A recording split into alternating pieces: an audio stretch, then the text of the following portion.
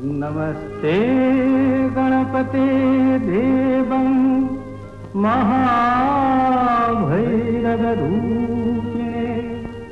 अनुज्ञां देहि मे नाथ कामक्षदर्शनं प्रति कामाख्ये कामसम्पन्ने कामेश्वरी हरप्रिये कामना देहि मे नित्यं कामेश्वरी नमोऽस्तु ते कामदे कामरूपस्थे सुभगे सुरसेविते करोमि दर्शनं दिव्यः सर्वकामार्थसिद्धये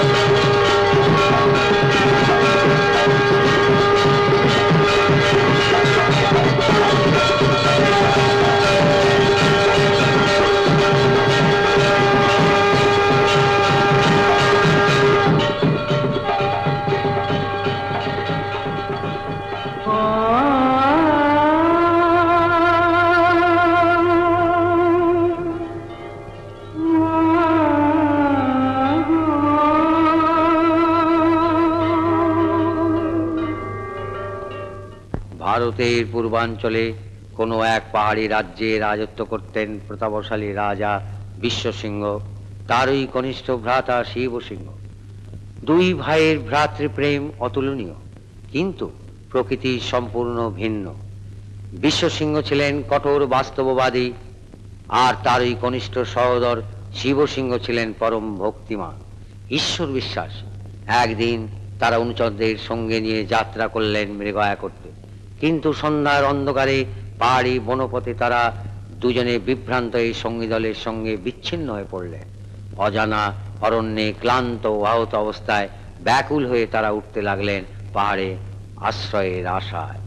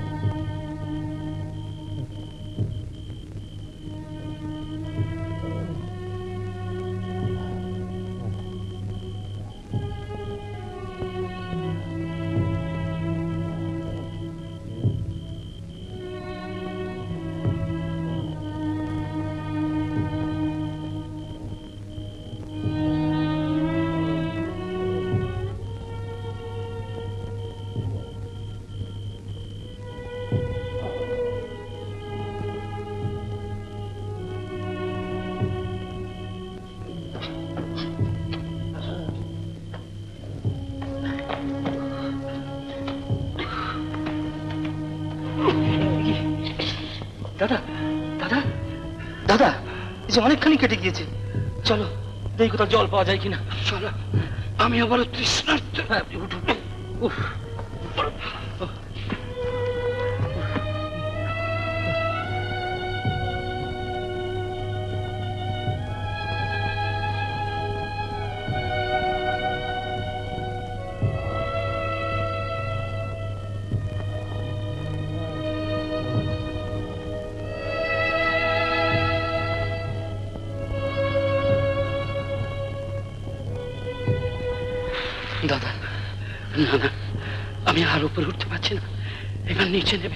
কিন্তু বড় পিপাসা।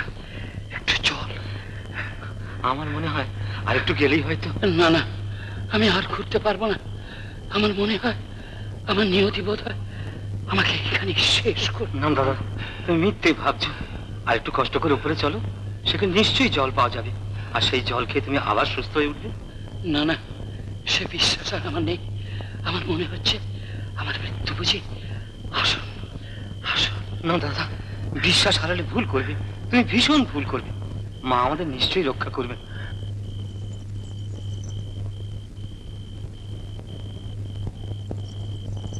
দাদা, এখানে জল নিশ্চয়ই কোথাও পাওয়া যাবে। হ্যাঁ। কি? দাদা, কে যেন একটি কিশোয়ালিকা এদিকেই আসছে। শোনো শোনো। এখানে কোথায় একটু জল পাওয়া যাবে? জল? কত জল চাও? অঢিল অঢিল। আমাদের সেখানে একটু নিয়ে যাবে?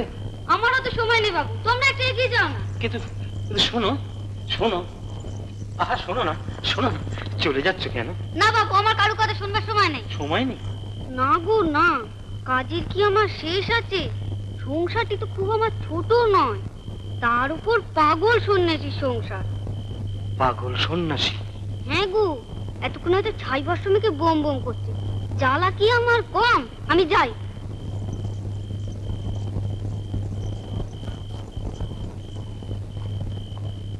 দাদা দাদা মেয়েটি যখন বলে গেল আর একটু এগুলি হোটেল জল পাওয়া যাবে। আর একটু কষ্ট করে চলুন। জল আছে? হ্যাঁ জল আছে। আমি নয় নিজে গিয়ে একবার দেখে আসি।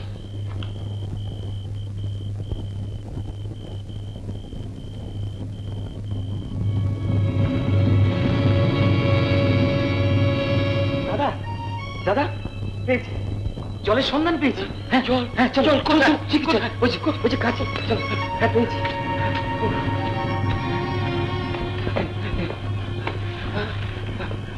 কই?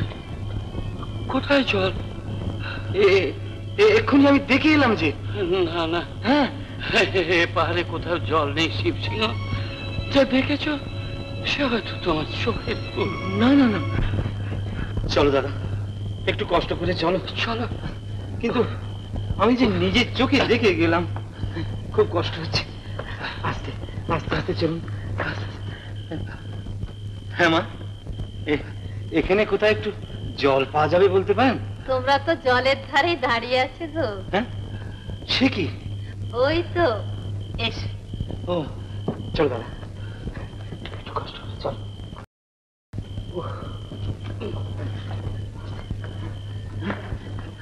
হ্যাঁ?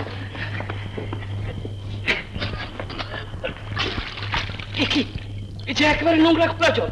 না এই জল আমি খেতে পারব না। না গো এই জল খুব ভালো। আমি বলছি খা। পাতাল থেকে ওতে সপ্ত তীর্থের জল জমা হচ্ছে। দাদা বুড়িমা যখন বলছেন তখন এসো খাই। না শিব। এই বিষাক্ত জল খেয়ে। না বাবা এ জল অমৃত। আমি বলছি কি গো? তোমার কপালটা কেটে কুটে কি হয়ে গেছে?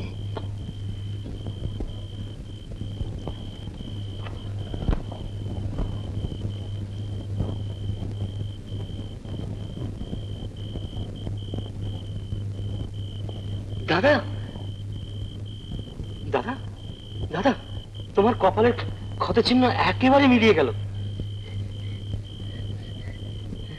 তাই তো হ্যাঁ তাহলে তাহলে তাহলে এ জল সত্যি দাদা এ জল সত্যি অমৃত।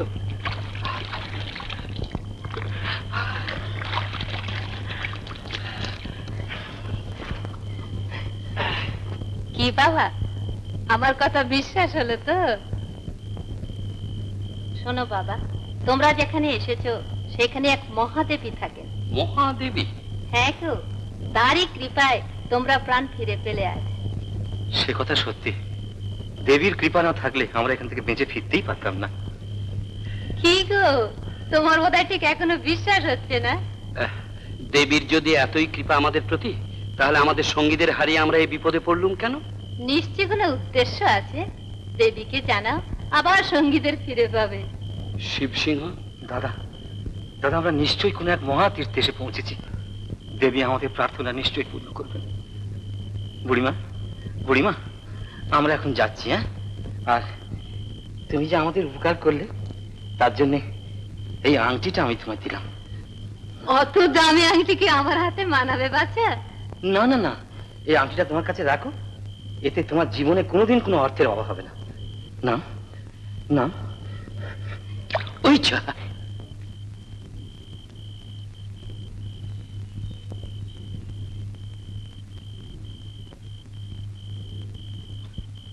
ও কি আর এখন পাওয়া যাবে? ছেড়ে দাও। না এ আর পাওয়া যাবে না। শিবসিংহ চলো আমরা এখান থেকে চলে যাই। আমরা নিশ্চয়ই কোনো মায়া পাহাড়ে এসে পড়েছি। তা না হলে? না গো না। ভালো জায়গাতেই তোমরা এসেছ। এখানে মাকে জানিয়ে যাও ও আংটি আবার ফিরে পাবে। আংটি আবার ফিরে পাবো। বেশ তো যদি ফিরে পাই তাহলে সে আংটি তোমাকেই দেবো। দাদা ওরা নিশ্চয়ই আমাদের লোক হ্যাঁ? বুড়িমা তো ঠিক বলেছে। বুড়িমা তো ঠিকই বলেছে। বুড়িমা? বুড়ি বুড়িমা? হাওয়ায় মিলিয়ে গেল। হ্যাঁ। শিবসিংহ হ্যাঁ? আমি বুঝতে পেরেছি ওকে। ও নিশ্চয়ই কোনো জাদু করি আমাদের জাদু করবে। আর এখানে নয়। চলে এসো। চলে এসো। এতক্ষণ কোথায় ছিলে? হ্যাঁ? তোমার জন্য কখন থেকে জল খাবার নিয়ে বসে আছি বলো তো? না। ওই সেই পাহাড়ে ব্যাপারটা ঘটেছিল তাই নিয়ে কথা উঠল আর কি। ও ওদের বোধহয় ঠিক বিশ্বাস হচ্ছে না।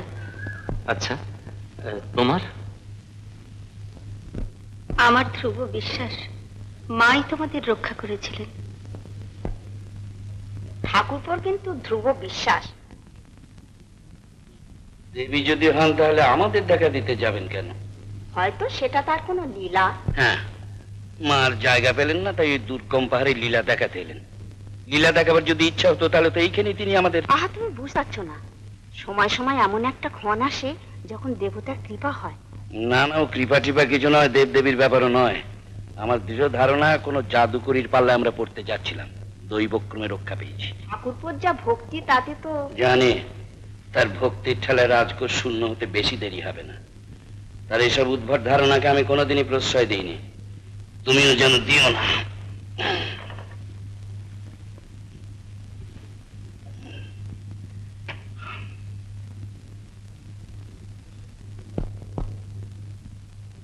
আচ্ছা আপনারা তো সমস্ত কাহিনী আদ্যপান্ত শুনলেন। আপনাদের কি মনে হয় কোনো দেবী তার মাহাত্ম দেখালেন?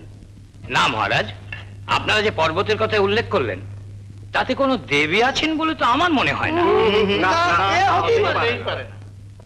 আমারও তাই মনে হয় রাজা মহারাজের বাড়ি থাকতে দেবী পাহাড়ে ঘুরবেন এ কখনো হয় মহারাজ? তাছাড়া তাকে দেখে তো দেবী বলে মনে হয়নি আপনার তাই তো? তাহলে মহারাজ নিঘাত কোনো অপদেবতা। ভাগ্যিস ঘাড়ে চাপিনি। আমার ঘরে চাপেননি ঠিক কিন্তু এখনও তিনি তোমাদের ছোট রাজকুমারের ঘরে চেপে বসে আছেন কিনা ঠিক বুঝতে পারছি না। তুমি যাই বলো দাদা আমার দৃঢ় বিশ্বাস আমরা কোনো দেবীর দর্শন পেয়েছিলাম। তোমার চোখের ভুল শিবসিংহ ওই পাহাড়ের জঙ্গলে কোনো ডাকিনি আমাদের বিভ্রান্ত করতে চেষ্টা করেছিল। ঠিক বলেছেন মহারাজ। আপনার সঙ্গে রামকবচটা ছিল তো? মহারাজ বিশ্বসিংহের কাছে এ বিষয়ে আমার কিছু বক্তব্য আছে। বলুন রাজপণ্ডিত। আমার মনে হয় আপনারা ব্রহ্মপুত্র নদের তীরে এক মহাপুণ্য তীর্থে গিয়ে পড়েছিলেন। পুরাকালে ওই পাহাড়ে বিষ্ণুচক্রে মহাসতীর জনি অঙ্গ পতিত হয়েছিল। আচ্ছা সতীর দেহত্যাগের পর নয়? হ্যাঁ ছোট রাজকুমার। সতী অঙ্গ ধারণে অক্ষম হয়ে ওই পাহাড় একদিন বসুমতী গর্ভে আত্মগোপন করলেন কিন্তু স্বয়ং নারায়ণ ব্রহ্মা ও শিব ধরিত্রীর আত্মক্রন্দন শুনে ওই পাহাড়কে আবার যথাস্থানে স্থাপন করলেন এদিকে শিব সতী বিরহে হিমালয় পর্বতে গিয়ে কঠোর তপস্যায় ব্রতী হলেন তারপর? তারপর শিবের কঠোর তপস্যায় ত্রিভুবন কেঁপে উঠল। তাকে পার্বতীর সঙ্গে বিবাহ দিয়ে সংসারী করবার জন্য সমস্ত দেবতারা অত্যন্ত ব্যস্ত হয়ে উঠলেন। কিন্তু এই প্রস্তাব নিয়ে তার কাছে কে যাবে? তাই দেবরাজ ইন্দ্র পাঠালেন মদনরথীকে দেবাদিদেব মহাদেব তপভঙ্গ করবার জন্য।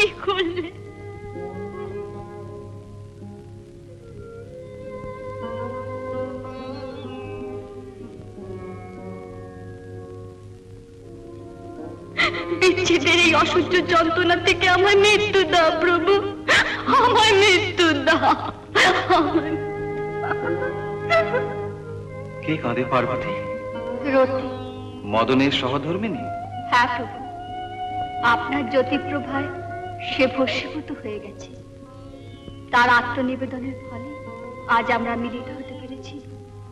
হর পার্বতীর মিলন। কিন্তু নাথ প্রতিহারা সতীর অস্ত্র জলে এ মিলন তো সার্থক হবে না। দয়া করুন আশুতোষ রতিপতি মদনের জীবন আপনি ফিরিয়ে দিন প্রভু।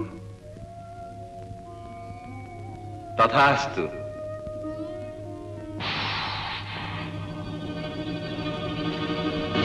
এর চেয়ে এর চেয়ে আমার মৃত্যু ছিল ভালো। এই পাহাড় থেকে নিচে। তিষ্ঠ। ব্রহ্মপুত্র তীরে মহাপূর্ণ তীর্থ নীল পর্বতে যাও।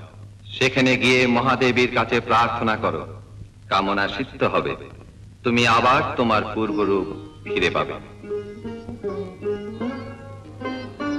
কাম অর্থে মদন।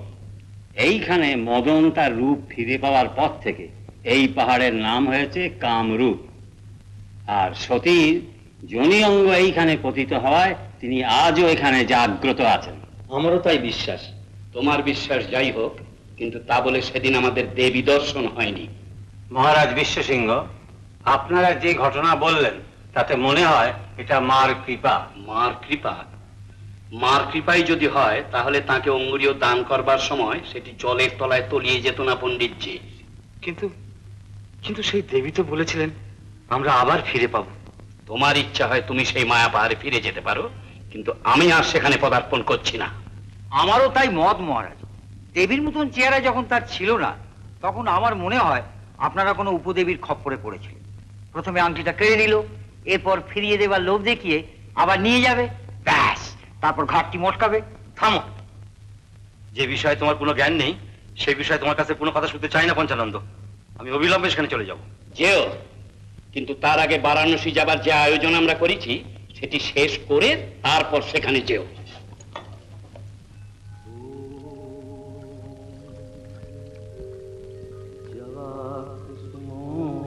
संकाशम काश्यपे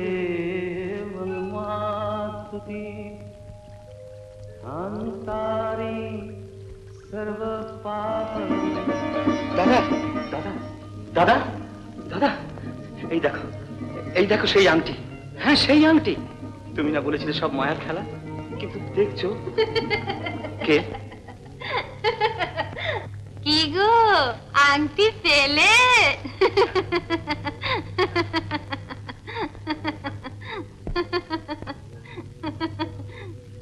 আচ্ছা তুমি কি এখানেই থাকো?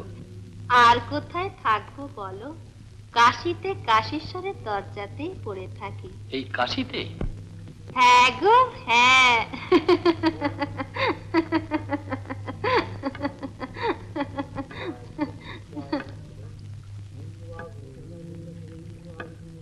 শিবসিংহ? হ্যাঁ। এই সেই বুড়ি। দেখছ? হ্যাঁ দেখে তো সেরকমই মনে হচ্ছে বটে কিন্তু মহারাজ কোন বুড়িটার কথা বলছেন বলুন তো ধরবো গিয়ে? এই যে এই মাত্র ঘাটের ওপর দিয়ে না না থাক।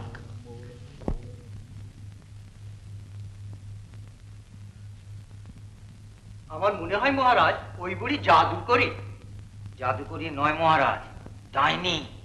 ছোট রাজকুমারকে খাবার তালে আছে।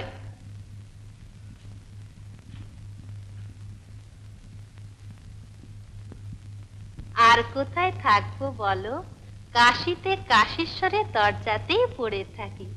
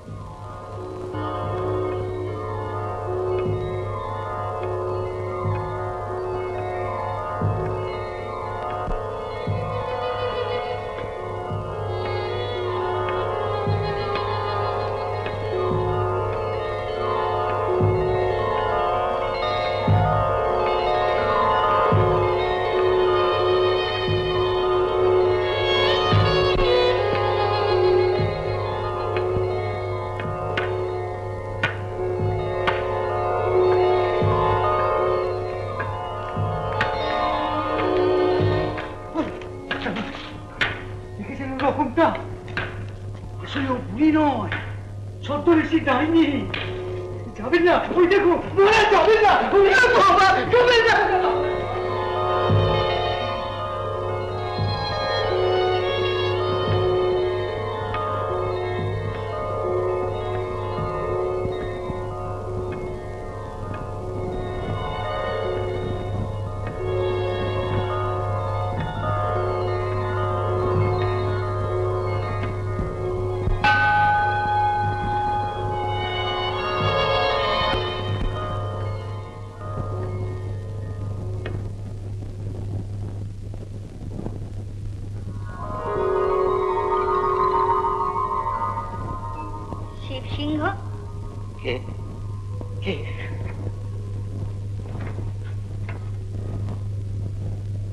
কে মা তুমি?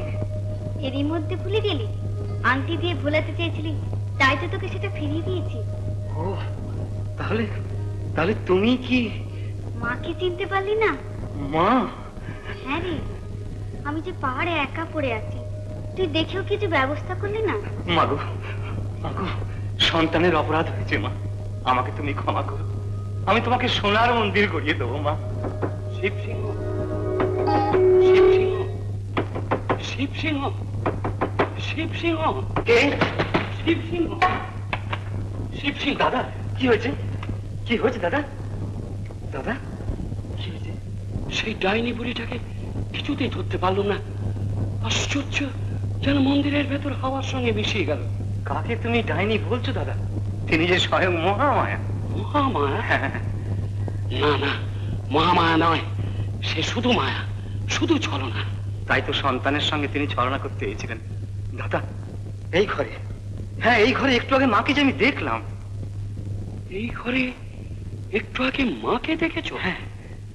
না না সেই ডাকিনীর জাদুবিদ্যার মায়া।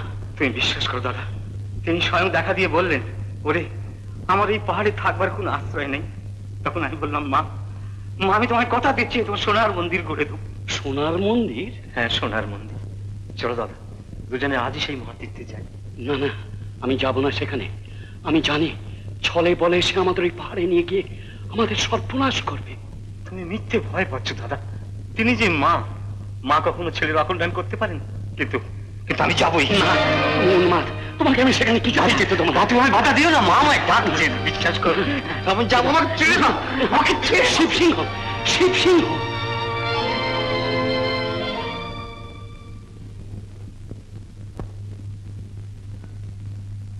ভাবছিস ছোট বউ? ও চিঠি এসেছে। উনি ফিরে আসছেন। কিন্তু ঠাকুর তো ফিরে আসতে একটু দেরি হবে ভাই। কেন? ওর কি কিছু? না রে তার কোনো অসুখ বিসুখ করেনি। তিনি লিখেছেন শিবের ফিরিতে বিলম্ব হইবে কারণ সে আবার সেই পাহাড়ে যাইবে। একা? হ্যাঁ। শিবের বিশ্বাস সে নাকি মায়ের নির্দেশ পাইয়াছে। কিন্তু আমার বিশ্বাস হয় না। ওর কথা ছেড়ে দে। ও তো নিজের ইষ্টদেবী মা কালী ছাউকে বিশ্বাসই করে না। আচ্ছা দিদি, মা কালী কি দেবী কামাখ্যা নিশ্চয়। মা কত রূপে দেখা দেন, তার কি ঠিক আছে? আমার মনে হয় ঠাকুরপোর ভক্তি দেখে মা ওকে ওই রূপেই পূজা করতে বলেছেন। আমারও তাই বিশ্বাস দিদি, মা তার ভক্তের পূজা চান। তবে একা পাহাড়ে গেলেন বলেই যা। কিছু ভাবিস নি ছোট। মা যদি দয়া করেন, ও যেখানেই যাক না কেন মা তার রক্ষা কবচ হয়ে থাকবেন। কিছু ভাবিস নে। আয়, খাবি, চল।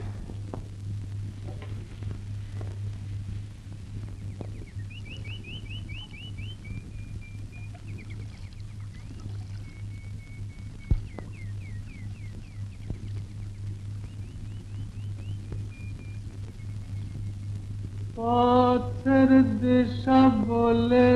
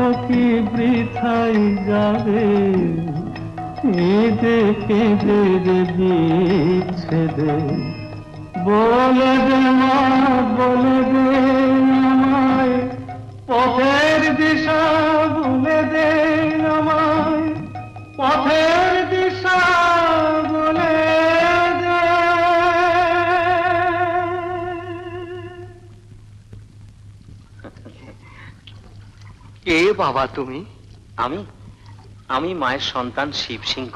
ও তা বেশ হ্যাঁ। বেশ। আচ্ছা এই তো কামাক্কা পাহাড় না? হ্যাঁ বাবা। ওই তো মা কামাক্ষার মহাপীঠ। আমি যে একবার মায়ের সঙ্গে দেখা করতে চাই ঠাকুর। ও তা বেশ তো। যাও না মাকে গিয়ে দর্শন করো। কিন্তু আমি তো পাহাড়ের পথ চিনি না। কেন সিঁড়ি আছে দেখোনি সিঁড়ি? হ্যাঁ। কই না তো। অনেক দিন আগে। নরকাসুর চারদিকে চারটে সিঁড়ি তৈরি করেছিল। সে এক আশ্চর্য কাহিনী। আশ্চর্য কাহিনী? সেটা কি ঠাকুর? তবে শোনো পুরাকালে বরাহরূপী নারায়ণের ঔরসে আর মা ধরিত্রীর গর্ভে এক অসুর জন্মগ্রহণ করে। তারই নাম নরকাসুর। অসুর হলেও নারায়ণের বরে সে অমরত্ব লাভ করেছিল। তাহলে অসুর হলেও তো দেবতারই সমান। হ্যাঁ ধর্মে কর্মে সকল বিষয়েই সে দেবতার সমান হয়েছিল। তার ভক্তি দেখে নারায়ণ স্বয়ং তাকে মহাপ্রতাপশালী রাজা করে প্রাগ জ্যোতিষপুরে পাঠিয়ে দেন। তারপর? তারপর নারায়ণ তাকে আশীর্বাদ করে বললেন তুমি নিজের মঙ্গলের জন্যে প্রতিদিন মা কামাক্ষার পূজা করবে। আর কখনো অসুরের মতো অনাচারে মত্ত হবে না। তাহলে তোমার মৃত্যু হবে। আচ্ছা নরকাসুর কি সে কথা পালন করেছিলেন? হ্যাঁ তা করেছিলেন। প্রতিদিন তিনি মায়ের পূজা করতেন। কামাক্ষে কাম সম্পন্নে কামেশ্বরী হরপ্রিয়ে कामनां देहि मे नित्यम्। कामेश्वरी नमस्तु ते। ॐ स्वाहा। ॐ स्वाहा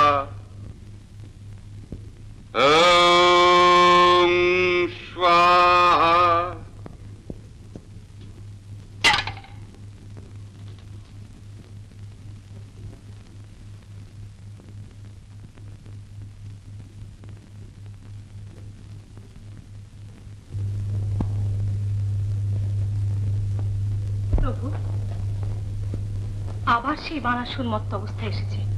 না। বানাসুর দেখছি আজও অসংযমের বাঁধন থেকে নিজেকে মুক্ত করতে পারলে না। দেখি প্রভাতে তার আসার উদ্দেশ্য কি। কিন্তু প্রভু আমার মনে হয় এখন তার সঙ্গে দেখা না করাই ভালো। দিন রাত সুরা ও নারী নিয়ে যে মত্ত তার সঙ্গে বন্ধুত্ব রাখা। বিপজ্জনক হ্যাঁ? কিন্তু তুমি ভুলে যেও না মায়া আমি মায়ের পূজারী। নরকাসুরকে দুর্বল করার শক্তি ওই অপদার্থের কোনো দিন হবে না। কিন্তু মহারাজ নিজের সংসারকে উচ্চের শোনা মতো ক্ষুণ্ণ হতে পারে? কিন্তু মায়া আমি এত উচ্চ যে বানাসুর আমাকে স্পর্শ করতে পারবে না। সে আমার বাল্য বন্ধু বলে তাকে সামান্য প্রশ্রয় দিই বটে কিন্তু তার পরামর্শে আমি চলি না।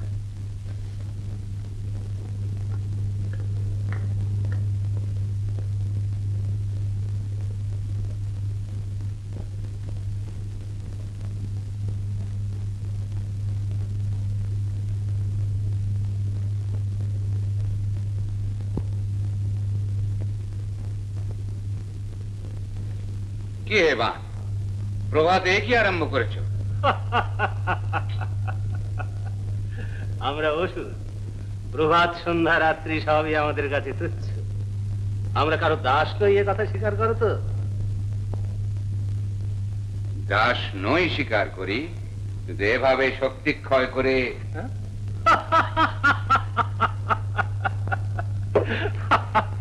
কি বললে? শক্তিক্ষয় ত্রিভুবনের রাজা নরকাসুরের শক্তিক্ষয়ের ভাবনা? আরও শক্তি চাও তুমি? নিশ্চয়ই। শক্তিমান হয়ে চিরদিন থাকতে গেলে শক্তির তপস্যা করা চাই বই তাই নাকি?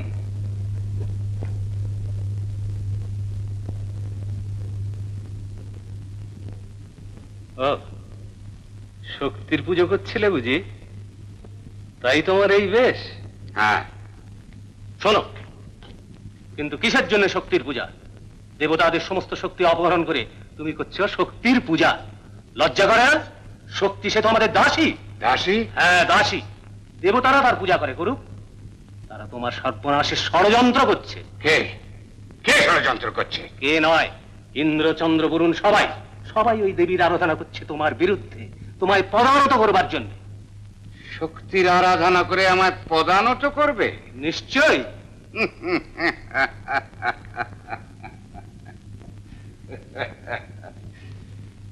কিন্তু তারা জানে না যে আমি জগন্মাতা দেবী কামাক্ষার পূজারী। কে তোমার দেবী কামাখ্যা কি শক্তি আছে তার? সাবধান পান তুমি আমার মায়ের নামে যদি আর একবার কোনো ইঙ্গিত করো তোমার জীব আমি টেনে উপরে ফেলব। তুমি আমার বন্ধু বলে আজ আমি তোমায় ক্ষমা করলাম। যাও দূর হও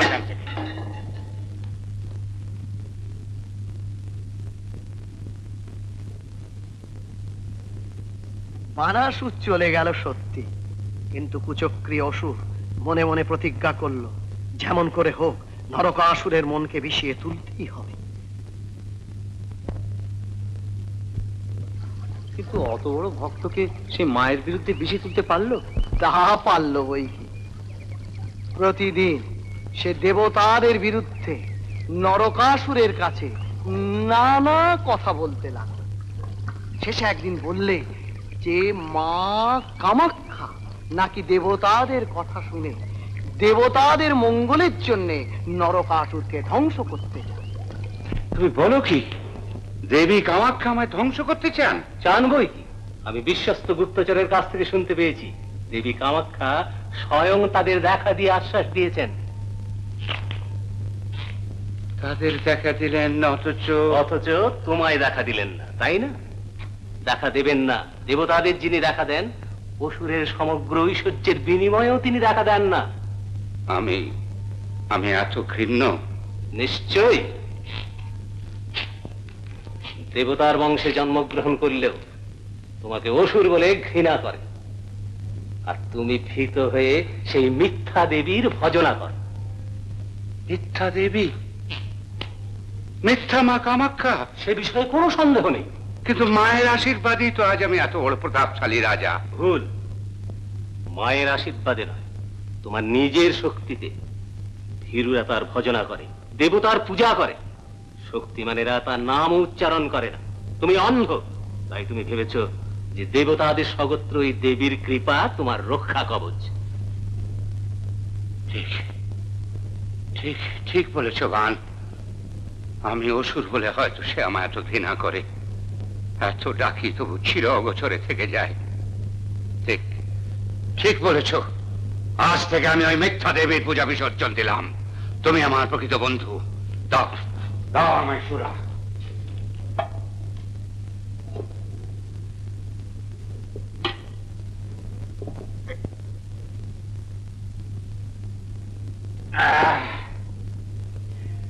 আজ থেকে আমি অসুরের আচরণ করব। আমি বুঝতে পেরেছি বান যাগ যজ্ঞ সব মিথ্যা। মিথ্যা দেবী কামাখ্যা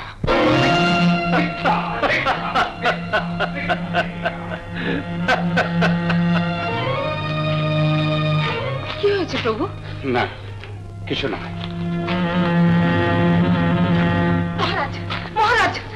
আপনি জ্ঞান হারাবেছেন। মায়ের ঘট মহারাজ। এই ঘট আমি চূর্ণ বিচূর্ণ। না মহারাজ ও ঘট আপনি ভাঙবেন না। ও ঘট আপনি ভাঙবেন না। মায়ের নামে উৎসর্গ করে ঘট? কে মা দেবী কামাখ্যা আমার মা নয় আজ থেকে সে আমার দাস। না, না এই কথা বলবেন না প্রভু। আপনার সমস্ত শক্তির আধার যে ওই মাফ করুন। আমার প্রাণ থাকতে এখানে আপনাকে আমি কিছুতে আজ বুঝিয়ে দেবো নরকাসুর কত শক্তিমান। মিথ্যা মিথ্যা মিথ্যা সব সত্য শুধু ভোগ নারী আর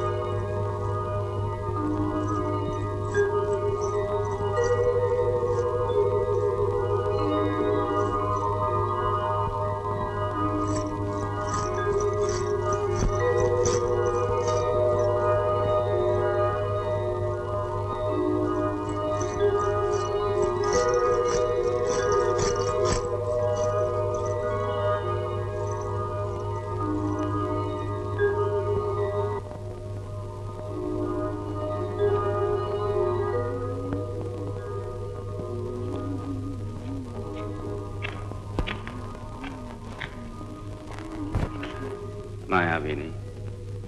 কেন তুমি ছলনা করছ? আমি যে তোমার জন্যে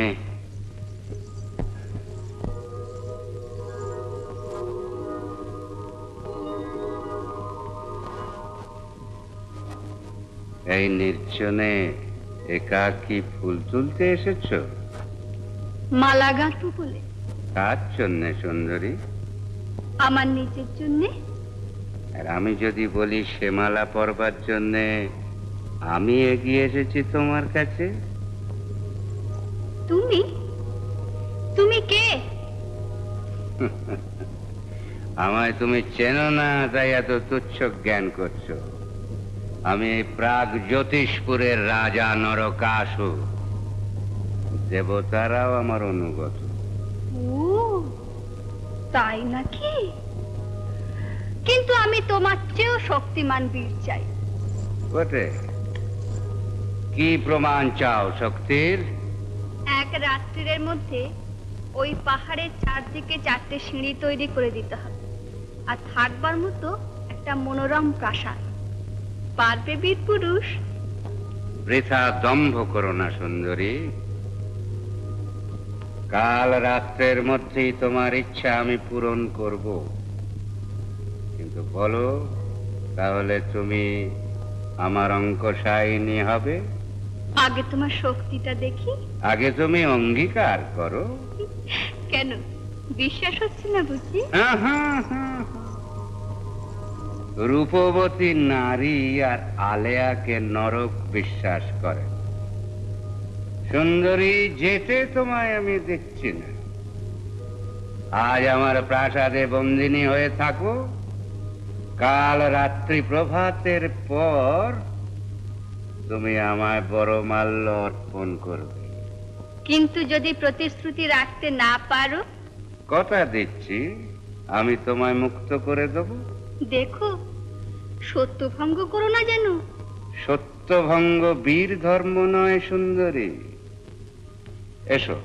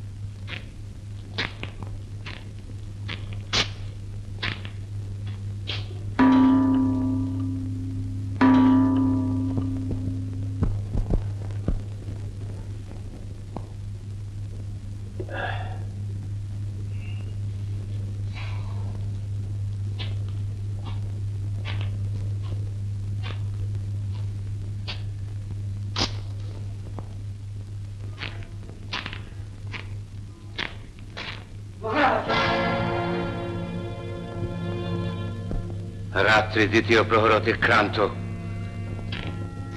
কাজ শেষ হতে আর কত বাকি? অর্ধেকের উপর শেষ হয়ে গিয়েছে মহারাজ। দ্রুত আরও দ্রুত কাজ চালাও। প্রচুর পুরস্কার পাবে। যাও।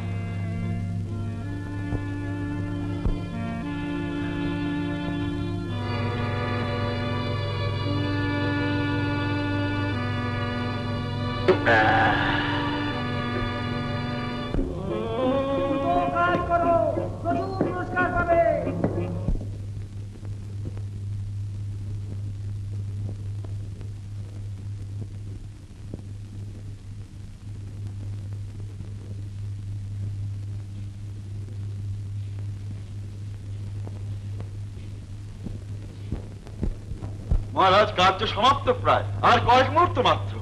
আর এক প্রহর পূর্বে কি হ্যাঁ মহারাজ। অর্ধপ্রহরের মধ্যে। সুসংবাদ দূত। আরও দ্রুত। আরও দ্রুত কাজ করতে বলো। শোনো। এ নাও তোমার পুরস্কার।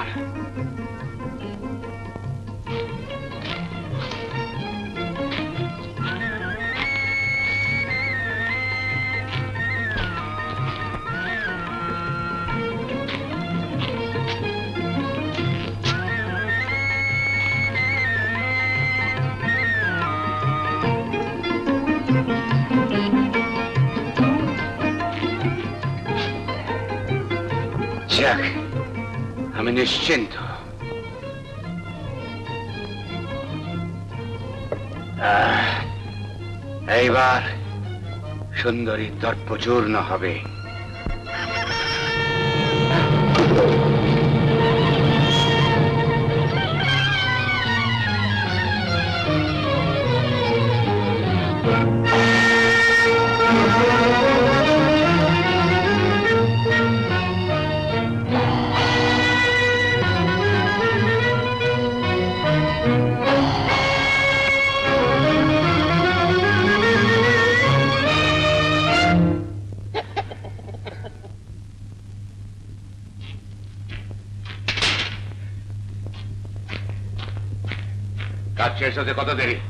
বাকি মহারাজ। বেরিয়ে যাও আমার সামনে থেকে নইলে তোমাকে আমি।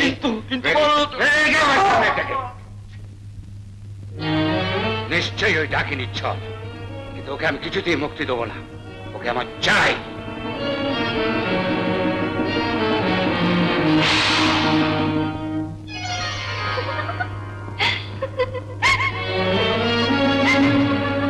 এই যে তুমি এইখানে। ভেবেছো আমার হাত থেকে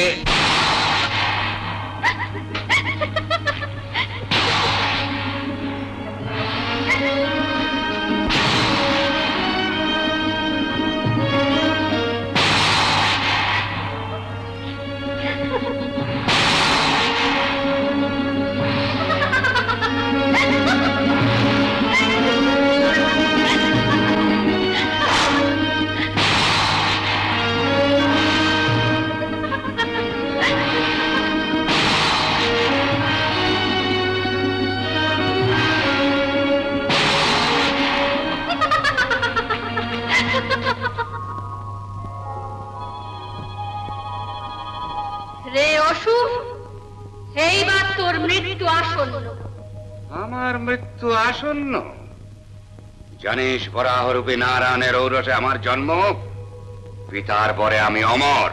হ্যাঁ অমরত্বকে তুই সেই দিনই অবিশ্বাস যেদিন নিজের হাতে তুই কামাক্ষার ভেঙেছিস।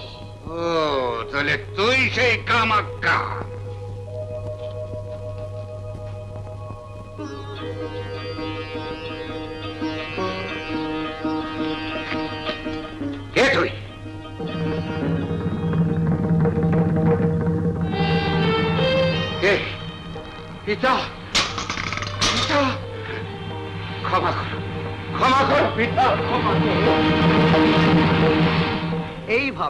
নরকাসুরের পতন হলো।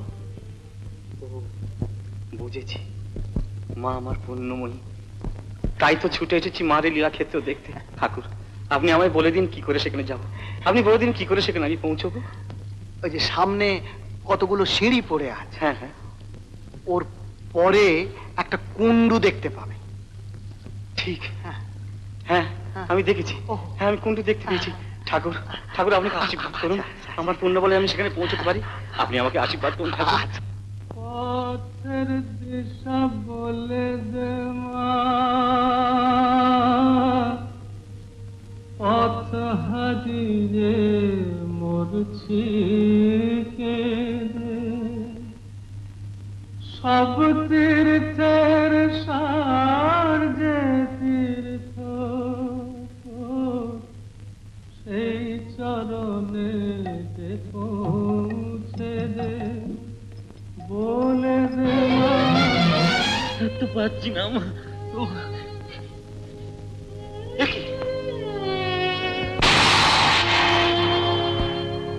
কি?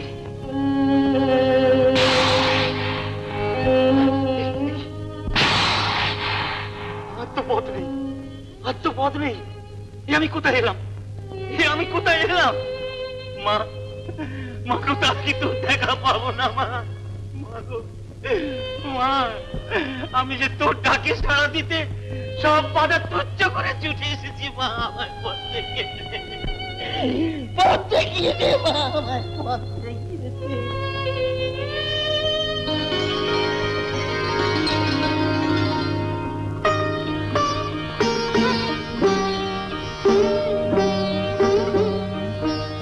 দে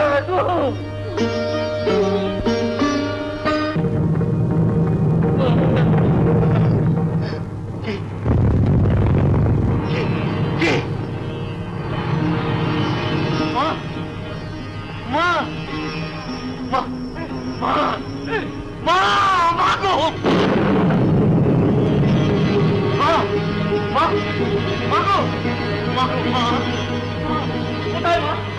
মা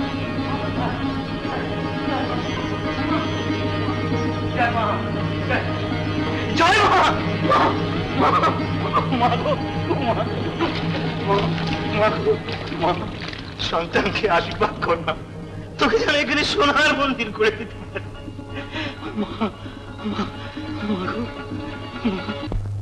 দাদা আমি মিনতি করে বলছি আমায় কিছু টাকা দাও। তাহলে মনের মতো করে আমি মায়ের মন্দির গড়ে তুলতে পারব। দেখো শিবসিংহ একটা কথা বলি। তোমার প্রাপ্য সমস্ত টাকা নিয়ে সবই যদি তুমি ব্যয় করে ফেলো তাহলে পরিণামে তোমার অবস্থা কি হবে? আমি আর আমার স্ত্রীকে মা কি দুবেলা দুটো পেট ভরে খেতে দেবেন না? তোমার মা কি করবেন তা আমি জানি না। কিন্তু আমার অবর্তমানে আমার দুই পুত্র যদি তোমার অনাদর করে তখন? করুক। আমরা স্বামী স্ত্রীতে মা কামাখ্যা দেবীর মন্দিরে গিয়ে বসবাস করব। তোমার অদৃষ্ট তোমাকে কোন দিকে টেনে নিয়ে যাচ্ছে তা আমি জানি না। তবে তোমার ইচ্ছা আমি বাধাও দিতে চাই না। কারণ কারণ কারণ মানুষ কোনো ভ্রান্ত বিশ্বাসকে আঁকড়ে ধরলে সহজে তার হাত থেকে মুক্ত হতে পারে না। আমার ভ্রান্ত বিশ্বাস আমার কাছে ধ্রুবসত্য হয়ে থাক। তার জন্য যদি কষ্ট পাই সে আমি সহ্য করব। ও।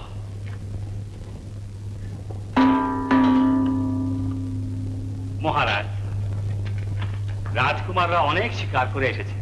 আপনি অনুগ্রহ করে বাইরে দেখবেন চলুন। চলো বাবা দেখবি চলো। অনেক শিকার করেছ। আচ্ছা তোমরা যাও আমি পরে যাচ্ছি হ্যাঁ? দেওয়ানজি রাজকোষ থেকে শিব সিংহকে দরকার মতো অর্থ দিয়ে দাও। পর্বতেও একটা মন্দির গড়ে তুলবে আজ্ঞা এটা অতি সৎ কাজ। আমি ওর প্রাপ্য অর্থ থেকে দিয়ে দিচ্ছি। শুধু দিয়ে দিলেই হবে না তুমি নিজে দাঁড়িয়ে থেকে মন্দিরের কাজ তত্ত্বাবধান করবে। জি আজ্ঞা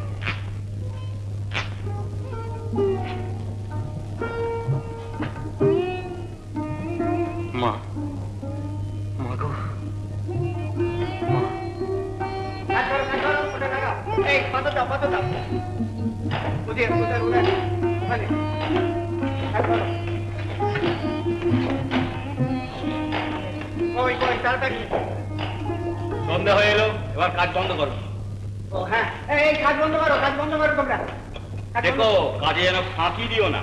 আজ্ঞে না এসব বিষয়ে আপনি কিচ্ছু ভাববেন না দেওয়ান মশাই। আমরা বেশ পাকা গাঁথুনি করে যাই। হ্যাঁ তাই করো। জানো করো না আমি ঠিক করেছি। মায়ের মন্দির প্রতিষ্ঠা হয়ে গেলে তুমি আর আমি সেখানে গিয়ে থাকব। মায়ের যদি তাই ইচ্ছে হয় তাহলে সেখানে গিয়ে থাকতে হবে। করুণা মায়ের নিশ্চয়ই তাই ইচ্ছে। বিষয়টাকে আমাদের সেইখানে টেনে নিয়ে যেতে চান। কিন্তু সেখানে তো জনপ্রাণী কেউ থাকে না। এমন জায়গায় সে বিষয়ে তুমি চিন্তা করো না।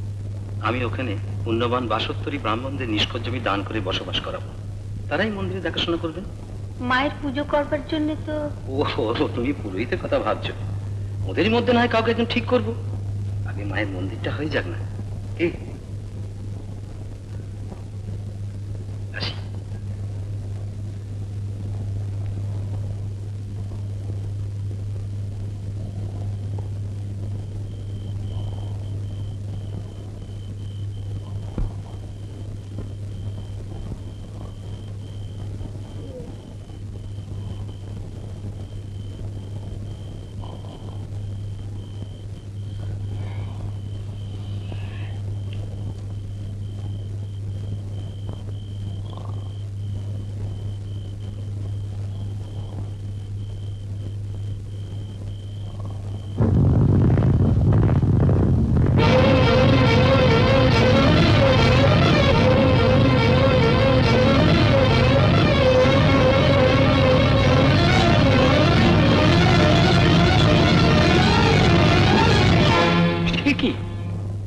চোখের সামনে এই ঘটনা ঘটলো?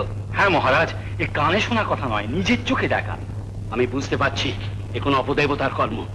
এই জন্য আমি বারবার শিব সিংহকে নিষেধ করেছিলাম যে সব কাজে যেও না। শেষে সর্বনাশ হবে।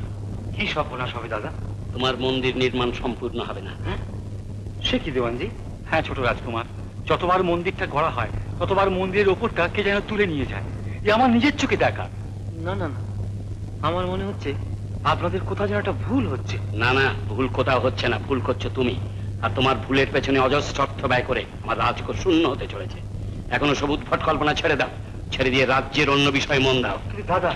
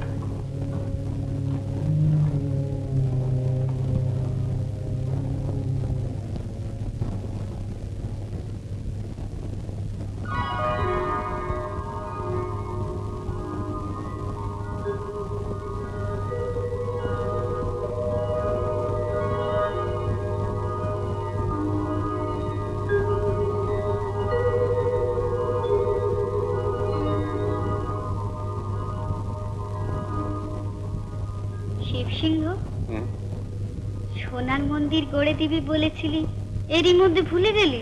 কিন্তু কিন্তু অত সোনা আমি কোথায় পাবো মা? সব মন্দির সোনা দিয়ে না গড়তে পারিস এক একটা ধাপে একটু করে সোনা দিবি? আর শোন মন্দিরে আমার মূর্তি প্রতিষ্ঠা করবি না। কি বললে? হ্যাঁ? মা? মা? মা? মা? মা গো। কি গো? চেঁচে উঠে কেন? শোনো মা এসেছিলেন। হ্যাঁ সত্যি মা এসেছিলেন। তার মন্দির সোনা দিয়ে ঘড়ি দেবো বলে প্রতীক্ষা করেছিলাম। তাই বুঝি তিনি? না না তিনি কোনো অপরাধ নেননি কিচ্ছু অপরাধ নেননি। শুধু আমার প্রতীক্ষা রক্ষার জন্য মনে করিয়ে দিয়ে গেলেন। কি? মনে করিয়ে দিয়ে গেলেন যে তার মন্দিরে সব ভাবে এক টুকরো করে সোনা দিলেই হবে। মা যাই দাদাকে কি বলে আসি হ্যাঁ? দাদাকে কি বলে আসি?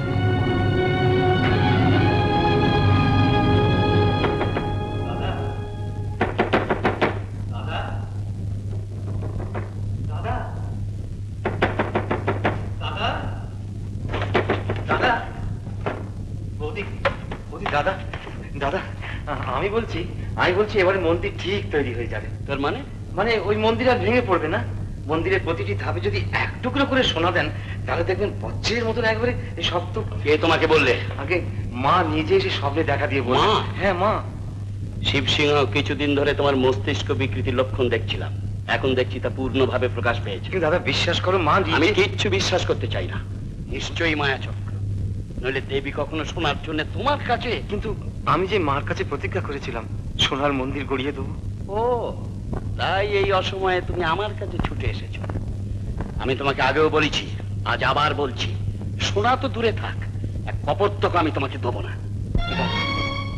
তোমার কাছে একটু সোনা ভিক্ষে চাইছি দাদা। ভিক্ষুককে ভিক্ষে দেওয়া যায় কিন্তু ভিক্ষা দেওয়া মূর্খতা।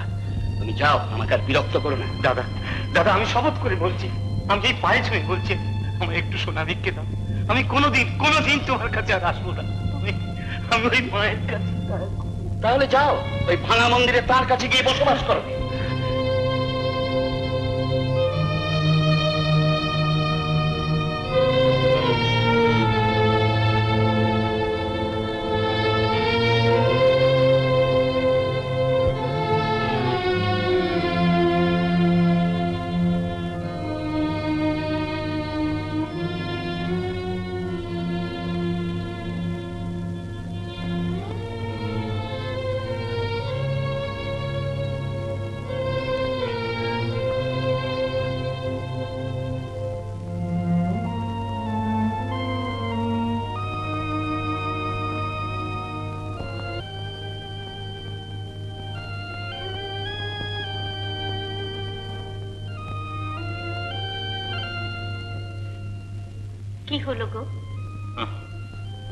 কিছুই হলো না।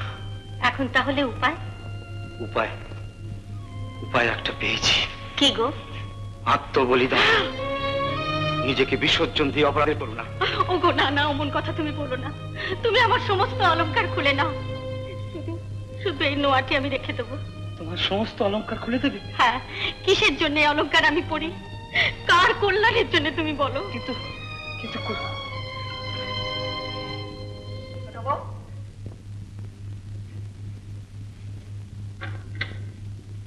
গয়নাগুলো পর। কিন্তু দিদি ঠাকুরপো তুমি কি বলে? বৌদি এছাড়া তো আর কোনো উপায় নেই ভেবেছো? হ্যাঁ। তোমার দাদা দেয়নি বলে পৃথিবীতে আর কেউ দেবার মতো নেই? আর কে দিতে পারে বৌদি বলুন কেন? তোমার বৌদি তো মরেনি জানো ঠাকুরপো তুমি দাদার কাছে হাত পাততে গিয়ে ফিরে এসেছ। সেটা আমার বুকে বেজেছে। এই নাও। এতে কি আছে বৌদি? মোহর। এ আমার বিয়ের সময় পাওয়া যৌতুক। এ তোমার দাদার টাকা নয়। না বৌদি বৌদি।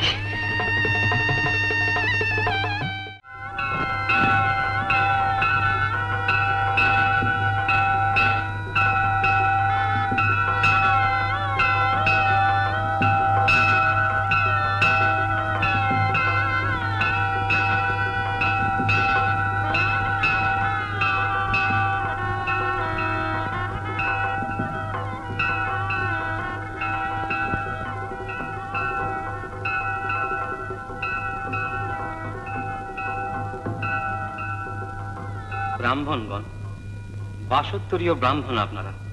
আপনাদের ভক্তি ও গুণের কথা আমি জানি। মায়ের যে মন্দির আজ প্রতিষ্ঠিত হলো তাকেই ঘিরে আপনারা মায়ের পূজা ও যাজন কার্য করুন। এই আমার ইচ্ছে।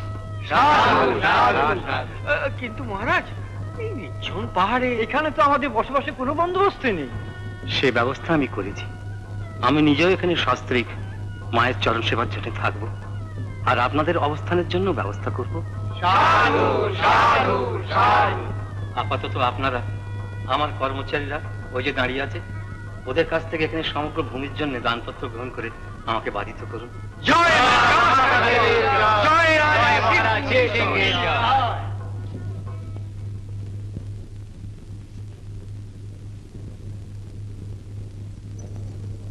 পথের দিশা বলে দে মা।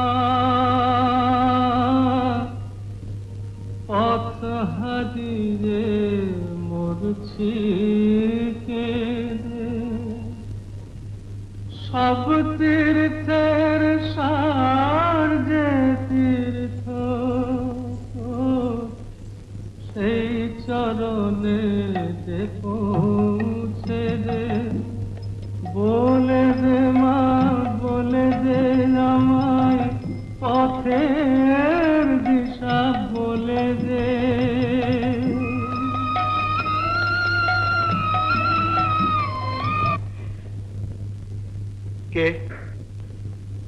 তুমি পথ খুঁজছো? হ্যাঁ মা। সারা জীবন আমি শুধু পথই খুঁজে বেড়াচ্ছি। তা আমার সঙ্গে এসো না আমি তোমায় পথ দেখাচ্ছি। তুমি? তুমি কে মা? তোমাকে তো এর আগে এখানে কোনোদিন দেখিনি। দেখবে কি করে বলো? আমার মাথায় তিন সংসারে বার আমার কি আর দম ফেলার সময় আছে?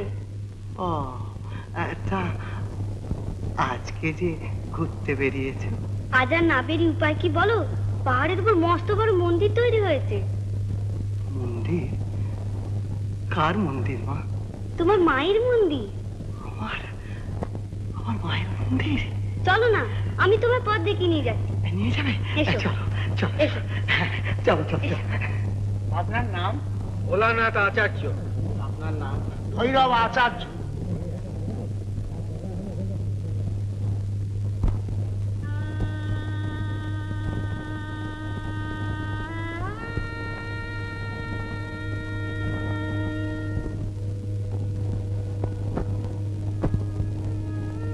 আপনার নাম? দেবানন্দ শর্মা। গদাধর পান্ডে।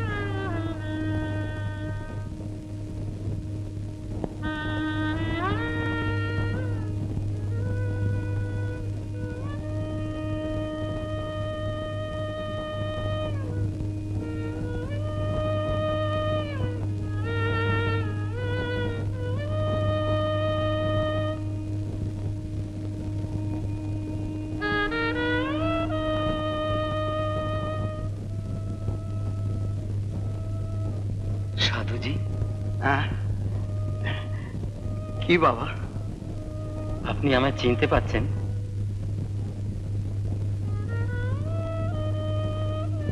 অধীনের নাম শিব সিংহ। আপনি একদিন আমায় মায়ের কাছে আসার পথ দেখিয়েছিলেন? তাই আজ নিজেকে মায়ের কাজে উৎসর্গ করতে পেরেছি। ভালো ভালো। খুব ভালো কাজ করেছ বাবা। তোমরা রাজা না না আমরা রাজা নই ঠাকুর। আমরা মায়ের সন্তান। আপনি? আমিও তাই বাবা। নাম কেন্দ্র কেলাই মাকে দেখবার জন্যে সারা জীবন ধরে পথে পথে ঘুরছি। দূর থেকে ও বেটিকে দেখেওছি। আহা বেটি আমার জঙ্গলে জঙ্গলেই কাটিয়েছে। থাকবার জায়গা তো ছিল না। তুমি তুমি আর সন্তানের কাজ করলে বাবা। আমার মায়ের থাকবার ব্যবস্থা করে দিলে। মার সেবার ভার কিন্তু আপনাকেই নিতে হবে ঠাকুর। আমাকে? হ্যাঁ। না না না।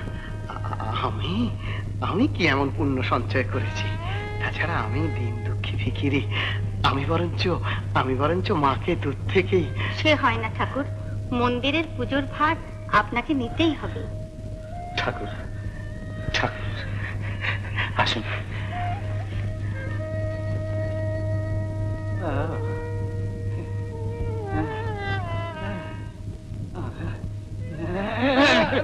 কি হলো? কি হলো? না না সোজা হয়ে ঠিক হয়ে চলো দেখিনি? ঠিক হয়ে চলো।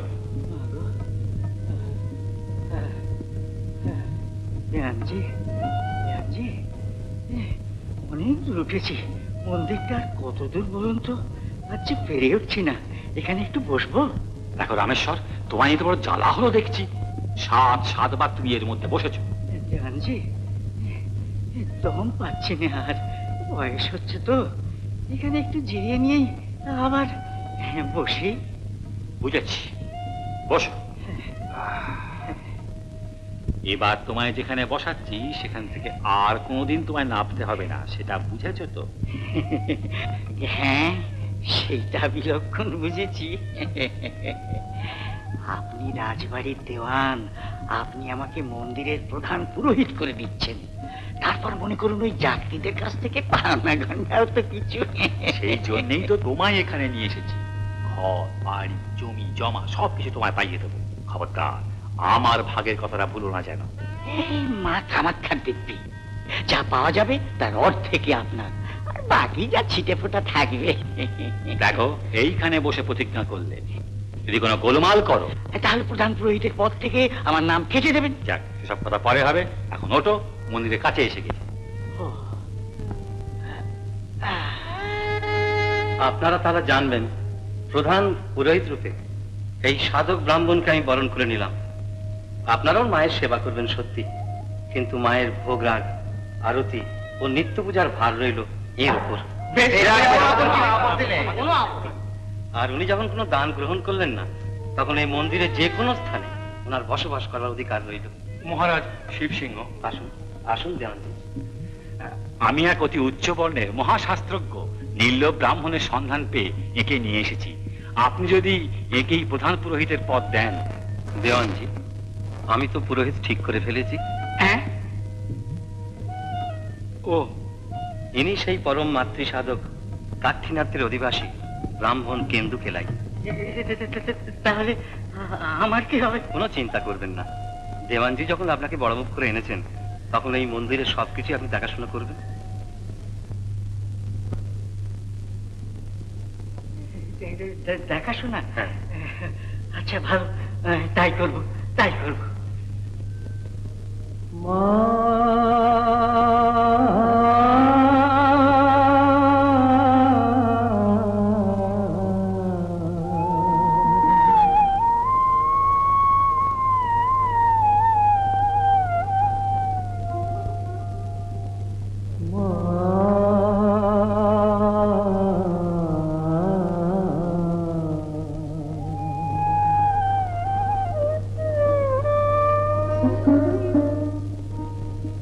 আমার মায়ের নামটি দয়াময়ী।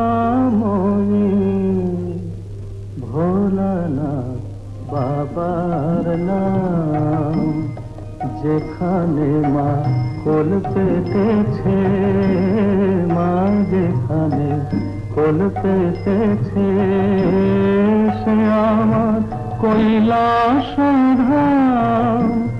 ভোলানাথ, বাবার নাম। মায়ের নামটি দয়াময়ী।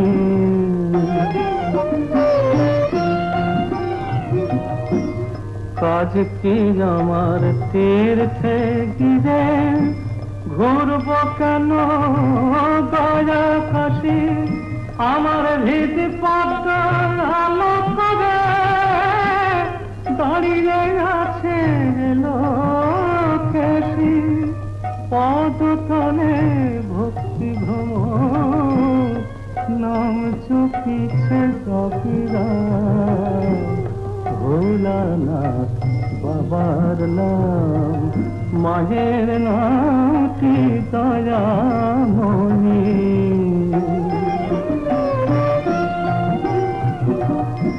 মন্ত্রতন্ত্র জানি না যে, শাস্ত্র পাঠে নেই তো সদানন্দে বিভোর হয়ে মায়ে পদে সুখে আছি। সদানন্দে বিভোর হয়ে মায়ে পদে সুখে আছি। আকুল হয়ে ডাকলে পরে মা মা মা কখনো হয় কি পদতলে ভক্তি নাম চকিছে জগিরা। ভোলানাথ বাবার নাম। যেখানে মা কোল পেতেছে সে আমার কৈলাস ধাম। ভোলানাথ বাবার নাম, মায়ের নামটি দয়াময়ী। ভোলানাথ বাবার নাম।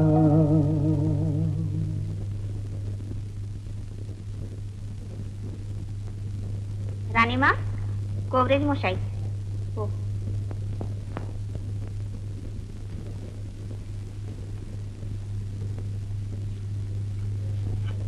রাত্রিতে উনি ঘুমিয়েছিলেন?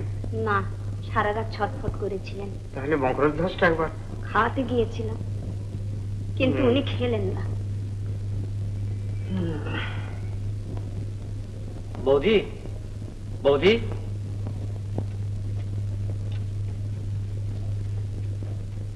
দাদা?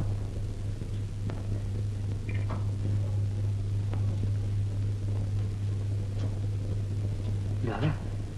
কবির মশাই কিরম দেখলেন দাদাকে? কিরম দেখলেন?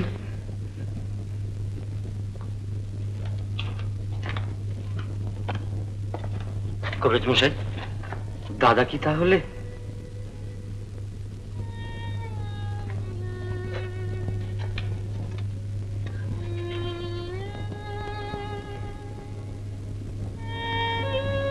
আমি বলছি দিদি মায়ের চরণামৃত ওকে খাইয়ে দাও।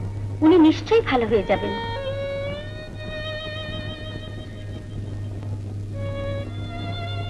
শুনছো? ঠাকুরপো মায়ের চরণামৃত এনেছে। একটু খাও। সব থাক সব থাক দাদা? শিব এসেছে ভাই? হ্যাঁ দাদা। এসো। তোমরা এখন যাও। আমার ওর সঙ্গে একটু কথা আছে।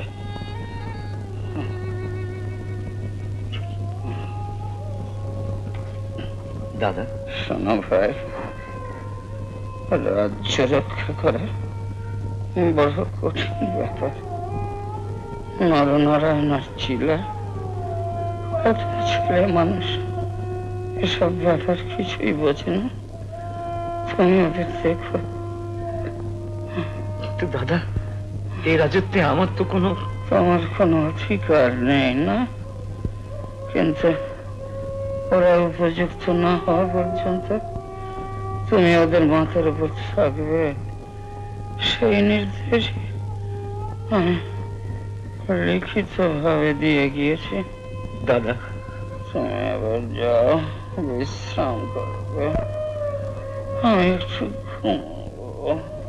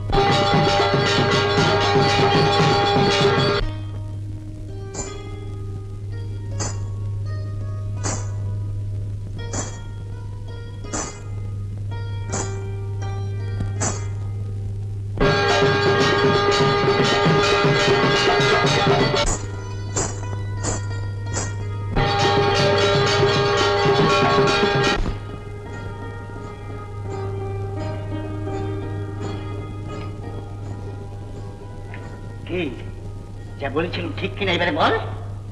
আশ্চর্য ব্যাপার কিন্তু তুই থাম বল ওসব আমার ঠিক জানা আছে। বুড়ো পুরুষ নিশ্চয়ই কুমারী পুরোর নাম করে থেকে রাত্রির বেলা সব মেয়ে ছেলে ধরে ধরে নিয়ে আসে।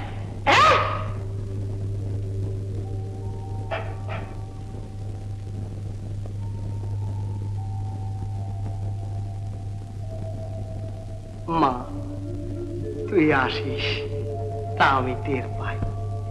তুই আমার আরতির তালে তালে আনন্দে নৃত্য করিস, তাও আমি জানতে পারি।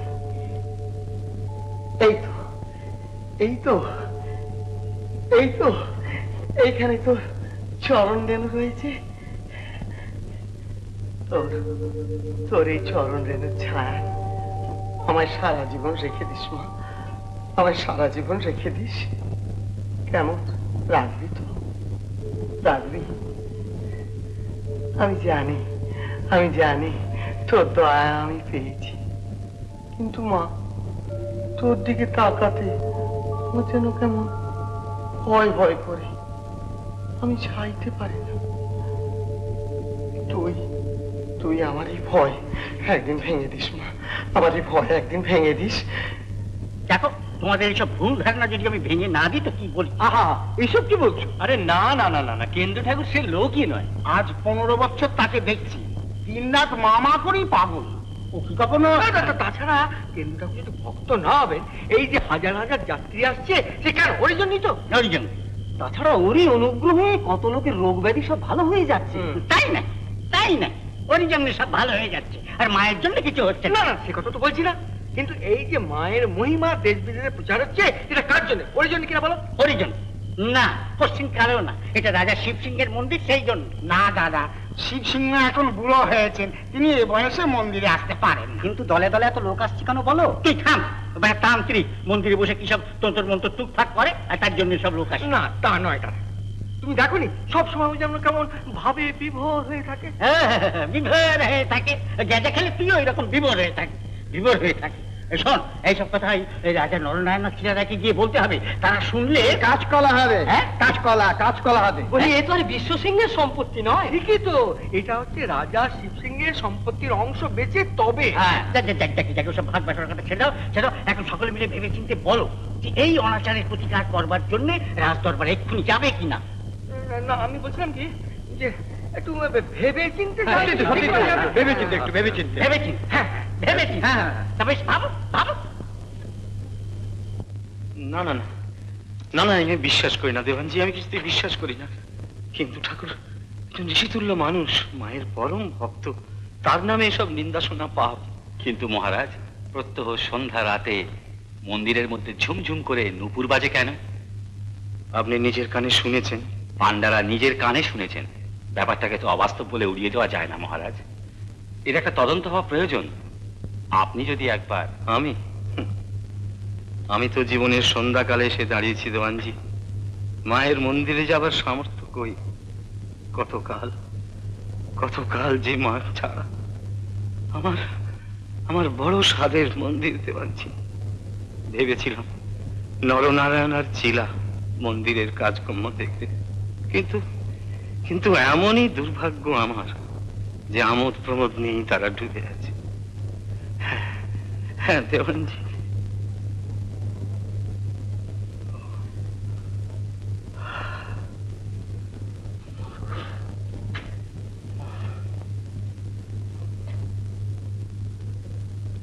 গো? তুমি এখনও বসে বসে তামাক খাচ্ছ? ওদিকে যাবে কখন? যাব যাব। সেই সময় মতন যাব। আজকে তো যাত্রীরা বিশেষ কিছু দিচ্ছে না। নাই দিক তুমি নিজে গিয়ে দাঁড়ালে কে কিছু সরাতে পারবে না তো। সারাবার দিন আজ নয় দিন আজ নয়। কাল মৎস্য কাল সকাল থেকে তো আমার আর না খাওয়ার অবকাশ থাকবে না। সারাদিন এই মায়ের মন্দিরে পড়ে থাকতে হবে। আর তা না পড়ে থাক কিন্তু যাত্রীদের উপর একটু নজর রাখো। মাকে কি কি দিচ্ছে না দিচ্ছে একটু ভালো করে দেখে রাখো। হ্যাঁ, এবার দেখতে হবে না কিন্তু দেখতে হবে না। আমার চোখের আলো ভারী শক্ত বুঝেছ? ভারী শক্ত। ভক্তরা ছাই। সেবারে ভোলা পান্ডা আর ভৈরব ঠাকুর আটখানা দামি দামি শাড়ি নিয়ে সরে পড়ল। আর তুমি? তুমি এক ঝুড়ি চিনির সন্দেশ নিয়ে বাড়ি ফিরলে। বাজে বকুন কারি কারি সন্দেশ কাপড় চোপড় সব নিয়ে আসছি কিছু তো একটু মানে নোটে না। কারি কারি সন্দেশ কাপড় টাকা সব আমাকে এনে দিচ্ছ না? সেগুলো কোন আবাগি ঘরে লুকিয়ে রেখে আসছে তার কোনো ঠিক ঠিকানা আছে? কই কিছু তো চোখে দেখতে পাই না। চোখে দেখবে কি করে? বলি চোখে দেখবে কি করে? আমার এই আবাগি আমার এই আবাগি থেকে চেনো না? দেওয়ানজিকে কত করে দিতে হয় খেয়াল নেই? এবার দেবো কেন? তোমাকে তো ফুট করে এখানে নিয়ে এসে এখন পাহাড় করে রেখে দিয়েছে। তো ভাগের বেলায় তাকে অর্ধেক দেবো কেন? না দিলে না দিলে আমাদের এই গোষ্ঠী শুদ্ধকে ধরে পাহাড় থেকে দেওয়ানজি ব্রহ্মপুত্রের জলে ফেলে ফেলে দিলেই হলো। এবার থেকে কিছু কাপড় চোপড় লুকিয়ে রেখে দাও। আরে লুকোবো কত? সে সময় যে লোকজন পান্ডা ফান্ডা সব একগাদা বসে থাকে জড়ো হয়ে। মরণ আর মায়ের দিকে চোখ নেই নবীর দিকে নজর। তুমি নিস্তারকে নিয়ে যাও। কিছু কাপড় চোপড় যা জিনিসপত্র লুকিয়ে টুকিয়ে পটে রইবে না নিস্তার এই নিস্তার নে কি বলছে মা? এদিকে হয় না। কি বলছে বলো? হুম সত্য করে গিলতে আরম্ভ করে দিয়েছে। ওর সঙ্গে যা যাত্রীরা যা দেবে সব নিয়ে আয় গিয়ে। চলো বাবা। আজ নয় আজ নয়। কাল মকর সংক্রান্তি কাল বিকেলে এই মন্দিরের পেছনটা গিয়ে ধাস ও কাল? হ্যাঁ কাল। এখন হুকুটা রাখ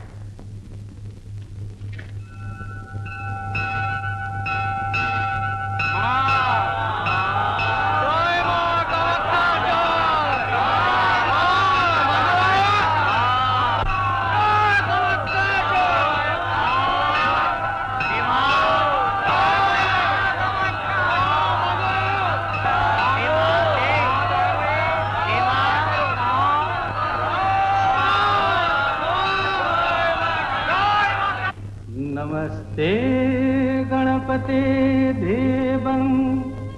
महा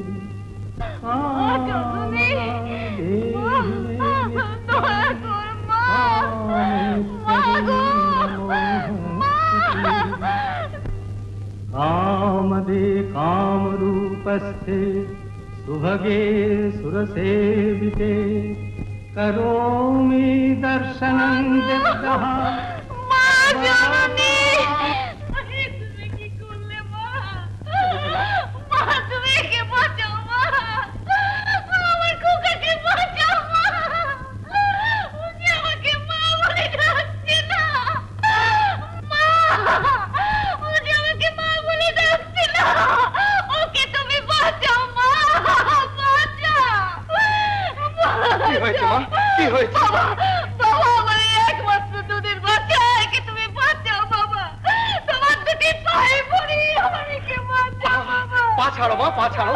কি হয়েছে দেখি কি হয়েছে মা? কি হচ্ছে তো জানি না বাবা। কুমড়ে মশাই বলে গেলে মা কামাখ্যা ছাড়া কেউ বাঁচাতে পারবে না। তুমি তো ঠাকুর মার ছেলে।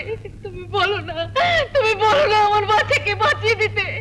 তুমি বলো না বাবা তুমি বলো না তুমি বলো। তাই তো। তুই বেটি আমায় বড় বিপদে ফেললি?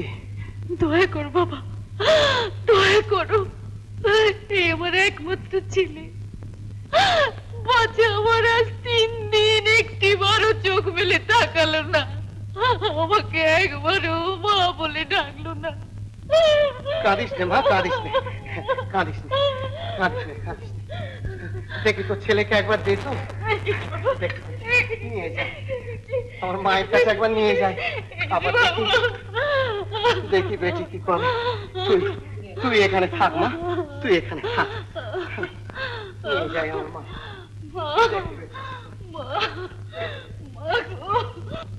দেখি। ঠাকুরের মন্দিরের মধ্যে তুমি একটা মরা নিয়ে ঢুকলে? কে বললে মরা? কে বললে? চোখে দেখতে পাইনি। হ্যাঁ, না? এই, যা ইচ্ছে তাই করবে যাও।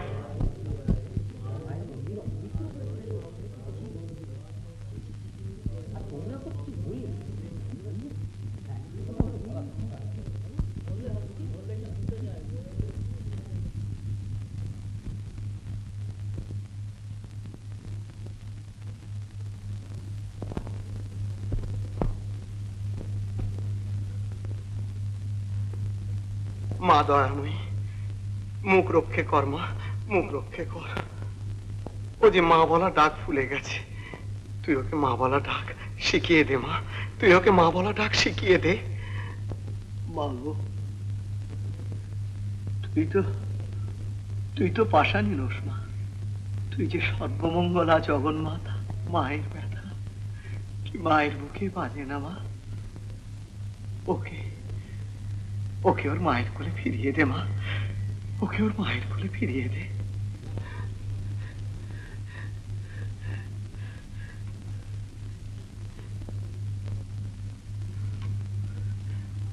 ওকে স্পর্শ করে, মা, ওকে স্পর্শ করে। এই ফুল এই ফুল আমি তোর পায়ে উৎসর্গ করছি। মা, মুখ রক্ষে কর। মা দয়াময়ী ওকে ওর মায়ের কাছে ফিরিয়ে দে মা ওকে ওর মায়ের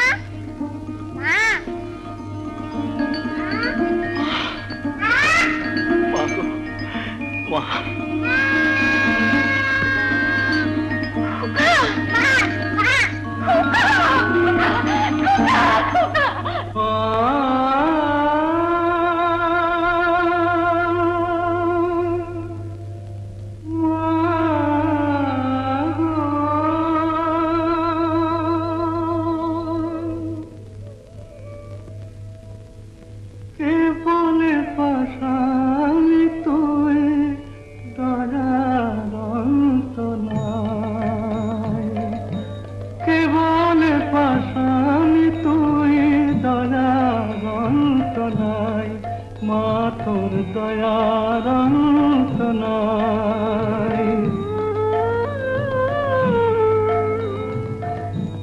অবধ ছেলের বয়না মেটাস যখনই যা চাই। মাগো, অবধ ছেলের বয়না মেটাস যখনই যা চাই। মা, তোর দয়ার নাই পাশানি তুই দয়ার অন্ত নাই মা তোর দয়ার অন্ত নাই।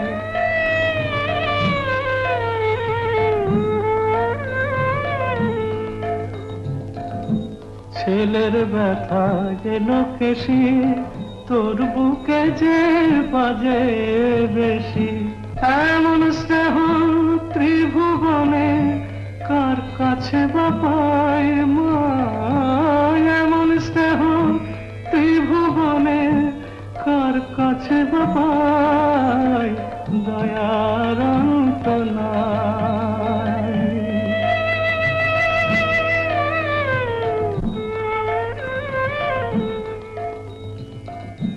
তোরি দেওয়া খেলনা পেলে তোরে ভুলে থাকি।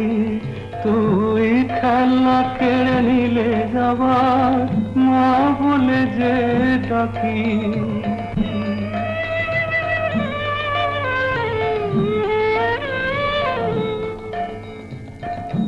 তুই মা তখন কোলে নিয়ে কান্নায় আমার দিস ভুলিয়ে, কাদাস মরে মাগো তোরে পাছে ভুলে যাই মা মরে মাগো তোরে পাছে ভুলে যাই, দয়ার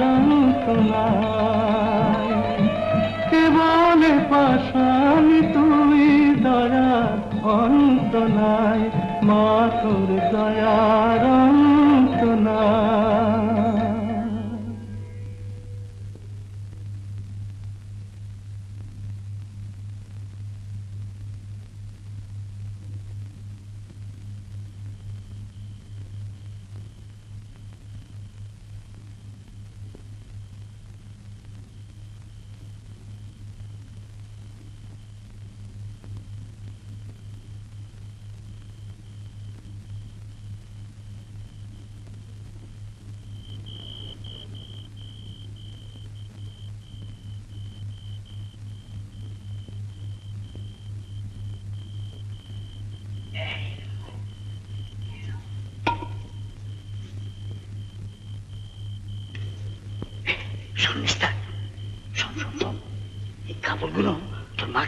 দিয়ে বলবি যে এক্ষুনি যাবে সিন্ধুকে তুলে ফেলে। শোন ওই সামনে সদর দরজা দিয়ে যাস না হ্যাঁ? পেছনে খিড়কি ওইখান থেকে টুক করে ঢুকে যাবে বুঝলি? যা আর শোন শোন শোন আর ফিরে এসে এইখানে দুয়ারি মিষ্টি থাকবে হ্যাঁ? এসে টুক করে উনি নিয়ে চলে যাবে যা। কিন্তু বাবা আ, যা তাড়াতাড়ি যা তাড়াতাড়ি যা। কি তোমরা?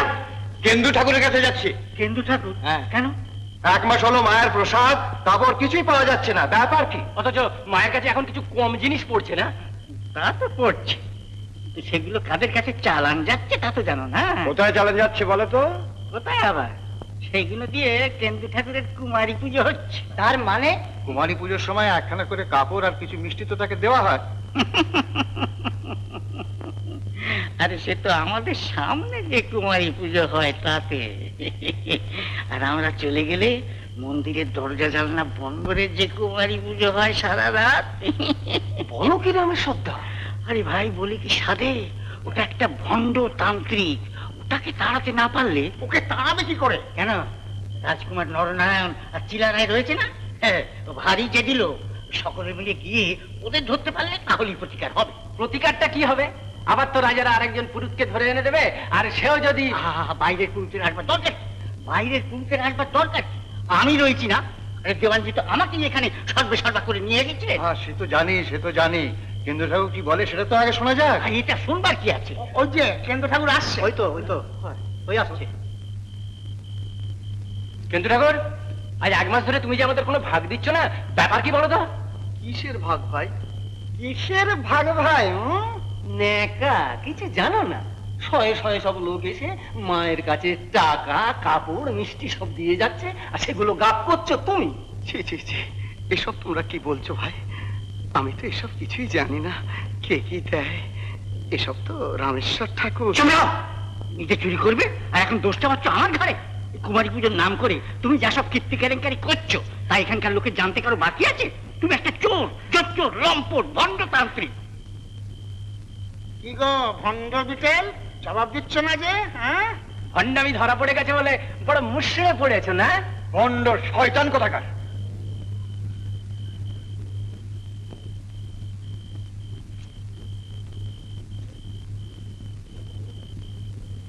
বলবে না বলবে না এমনিতে কোনো কথা বলবে না।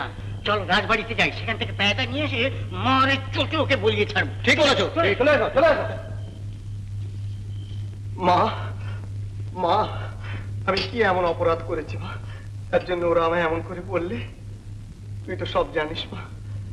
আমি তো কিচ্ছু জানি না শুধু তোকে নিয়ে থাকি। তবে তবে কেন এমন হলো মা? কেন এমন হলো? আমার মনে হয়েছিল রাজ্যের এপাশ দিয়ে হয়তো নবাব সুলেমান আমাদের আক্রমণ করতে পারে। না দাদা আমার তা মনে হয় না। সুলেমান মহা ধূর্ত সে ওখান থেকে কিছুতেই আক্রমণ করবে না। কি করে বুঝলে? কারণ রণনীতিতে যেটুকু আমার অভিজ্ঞতা তাতে মনে হয় হয়তো সে কোনোদিন পাহাড়ি পথ ধরে আক্রমণ করতে পারে। সহজ পথ ছেড়ে সে আসবে দুর্গম পথে? শত্রু ভাববে দুর্গম পথ বলেই আমরা সেই দিকটা নজর রাখব না। তখন সেই পথ দিয়ে সে আক্রমণ শুরু করবে। তাহলে তুমি বলছো পাহাড়ের উপর দিয়ে ওই পথেই আমার সুবিধে। কারণ তার আগেই আমাকে অধিকার পদ ঘাট সৈন্য সমাবেশের কি কি সুবিধে তাই দেখে আসতে হবে। বটে।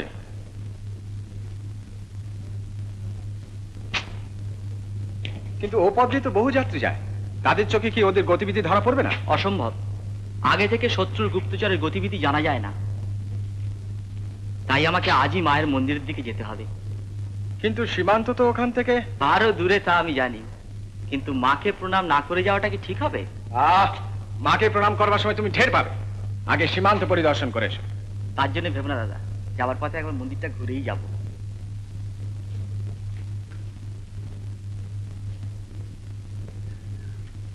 আপনি খোঁজ নিয়ে দেখুন বড় রাজকুমার কেন্দু ঠাকুর সম্বন্ধে আমরা যা বলছি তা সত্যি কি না?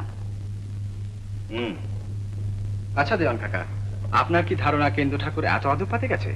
সত্যি কথা বলতে কি বড় রাজকুমার? ওই ঠাকুরটিকে আমার প্রথম থেকে কীরকম একটু সন্দেহ হয়। তোমার কুল্লতা তো যে ওর মধ্যে কি খুঁজে পেয়েছিলেন তা তিনিই জানেন। কিন্তু শুনেছি উনি সাধক মানে অলৌকিক শক্তি তার। মাফ করবেন বড় রাজকুমার মিথ্যে কথা। একেবারেই মিথ্যে কথা। কেন্দু ঠাকুর হচ্ছে তান্ত্রিক ঘোর তান্ত্রিক। ওর ওই মন্ত্রতন্ত্রের জোরেই ও হয় কে নয় করে। তাছাড়া যাত্রীরা যা দেয় সব নিজের ভোগে লাগিয়ে দেয়। আমরা কিছুই পাচ্ছি না। বটে? আগে হ্যাঁ। সবই তো ওই কুমারী পুজোর নাম করে আ- আ- আত্মসাৎ করছে। কিছু বলতে গেলে গ্রাহ্য করে না। আগে আপনাদের প্রতিষ্ঠিত মন্দির সেখানে যদি এইরকম অনাচার হয় তাহলে কুমারী পূজা? এই অনাচারের প্রতিকার না করলে মায়ের রোষে এ রাজ্যে সর্বনাশ হবে। থামো। বিচার যথাসময়ে হবে। রাজকুমার ছিলারা সম্ভবত মন্দিরের দিকে কোনো কাজে গেছে। আগে সে ফিরে আসুক, তারপরে বিচার।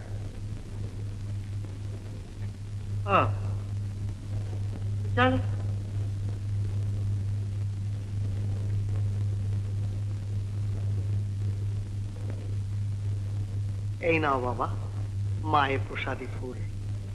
এই ফুল তোমার সঙ্গে থাকলে সমস্ত বিপদ থেকে মুক্ত হতে পারবে। চলো বাবা, মন্দিরের অবস্থাটা তোমাকে একবার দেখিয়ে দিই। চলো।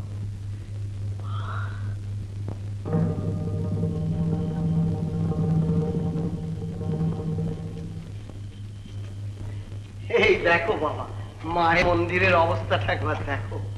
তোমরা রাজা শিব সিংহের ভাইপো।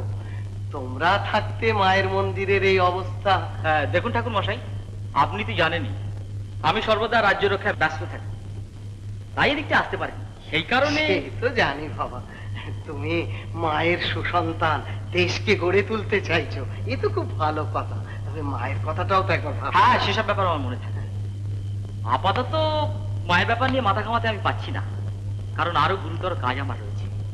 আচ্ছা চলি ঠাকুর মশাই দেখুন আমি যে এখানে এসেছিলাম সে কথাটা যেন আপনি কাউকে জানাবেন না। কিন্তু মা তো ওই মা আর আপনি জেনে রাখুন।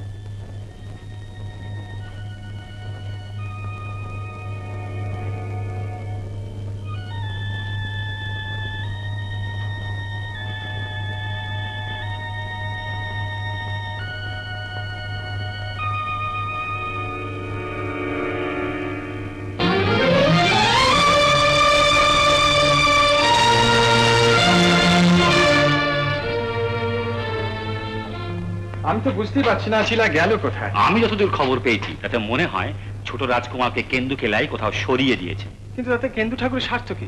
ছিলা এই রাজ্যের সেনাপতি। গৌরের নবাব আমাদের রাজ্য আক্রমণ করবে শুনে সে তো সীমান্ত পরিদর্শনে গেছে।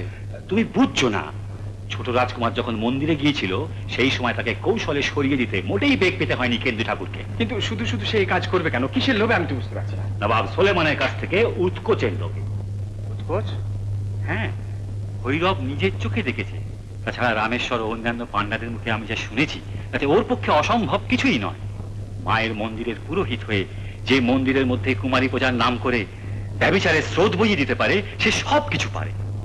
হুম, এই দুশ্চরিত্র ব্রাহ্মণের দ্বারা তাহলে সবকিছুই সম্ভব। শুনুন, আপনি এক্ষুনি মন্দিরে যান। চিলার যদি কোনো খোঁজ না পান, তাহলে ওই ব্রাহ্মণকে যে কোনো শাস্তি দিয়ে মন্দির থেকে দূর করে দেবেন।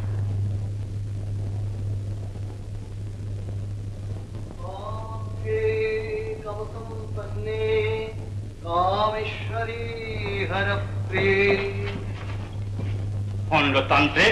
বলো রায় কোথায়? আমি তা কেমন করে বলব? দেখেছ কিরম না জানার ভান করছে হ্যাঁ। আমি নিজের চোখে দেখেছি ছোট রাজকুমার চিরায় কেন্দ্র ঠাকুরের সঙ্গে কথা বলে নিচে নেমে গেলেন।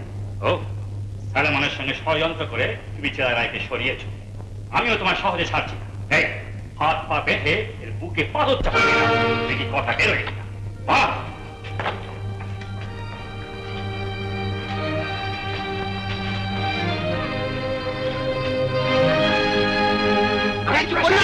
আমি করিনি? শোনো শোনো আমি কিছু করিনি আমি জানি না। মা এরা আমাকে বিক্রি সাজা দিচ্ছে আমি জানি না। শোনো শোনো শোনো। মা!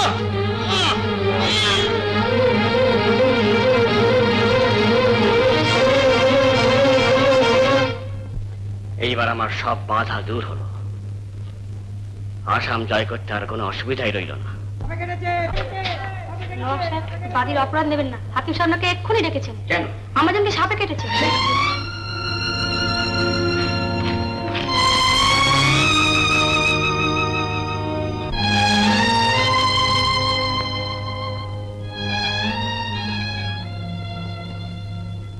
অনেকটা উঠে গেছে। হুজুর এই বুড়িমা বিষ নামিয়ে দেবেন বলেছে।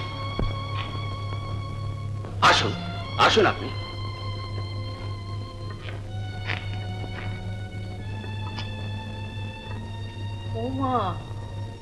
তো কালকে উঠে কামড়েছে গো। তাহলে কি হবে? আম্মা জানকে আবার বাঁচবেন না? বাঁচবেন তবে সে লোক পাওয়া গেলে হয়। বলুন বুড়িমা কোন লোককে আপনার দরকার?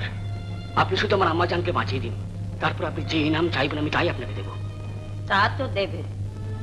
ওই রাজার ছেলেকে এনে দিতে পারো? রাজার ছেলে? রাজার রাজার ছেলে কোথায় পাবো? সেই যে বন্দি। বন্দি? এই চিলা রায়কে এক্ষুনি নিয়ে এসো।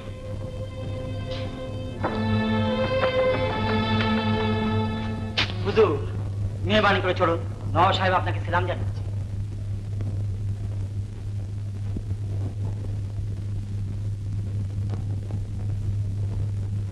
এই রাজার ছেলে বুড়িমা। হ্যাগা বাচ্চা নবাবের মাকে সাপে কেটেছে। তোমার কাছে ওষুধ আছে বাঁচিয়ে দাও না। আমার কাছে ওষুধ? তুমি কি বলছো বুড়িমা? ভাই চিলা দয়া করো। তোমার সঙ্গে যে ব্যবহার আমি করেছি তা তুমি ভুলে যাও ভাই। আমি নবাব সুলেমান করজোড়ে তোমার কাছে ক্ষমা চাইছি। ওষুধকে আমার মাকে বাঁচিয়ে দাও। আমি প্রতিজ্ঞা করছি আমার মরণ আমি তোমার বন্ধু হয়ে থাকব।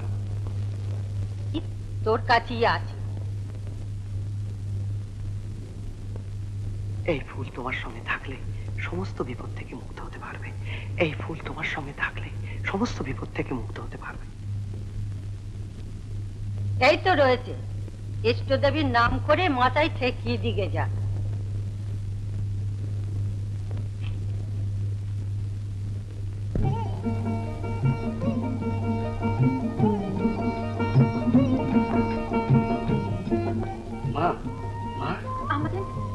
আপনি কেমন বোধ করছেন অভিযান কি আশ্চর্য। বুড়িমা। ও বুড়িমা না আমাদের ইষ্টদেবী মা কামাখ্যা। ভাই চিলা তুমি মুক্ত। আজ তুমি আমার যে উপকার করলে তার জন্য আমি প্রতিজ্ঞা করছি। আমরা হিন্দু মুসলমান দুই ভাই কোনদিন আর কোনদিন বিবাদ করব না। দেওয়ানজি দেওয়ানজি কেন্দ্র ঠাকুর মন্দিরের দরজায় পড়ে খাচ্ছে ওর বুকের উপর থেকে পাথর সরালো কে? তা তো বলতে পারি না। তার দলের অনেক লোকজন আছে। হয়তো কেউ দলের লোককে রক্ষা করবে। চলো ভাইরা দেওয়ানজি কেন্দ্র ঠাকুর মায়ের কাছ থেকে নাকি অনেক মন্ত্রতন্ত্র সব বুঝলু কি আমি ঘের দেখেছি। চলো।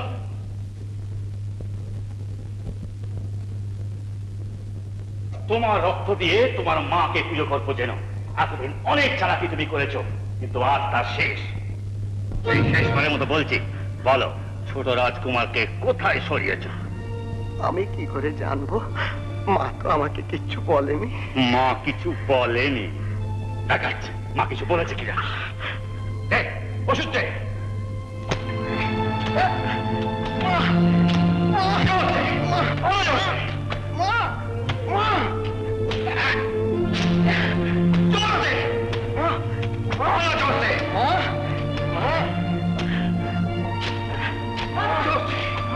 দে। জোরসে আরও জোরে। আরও জোরে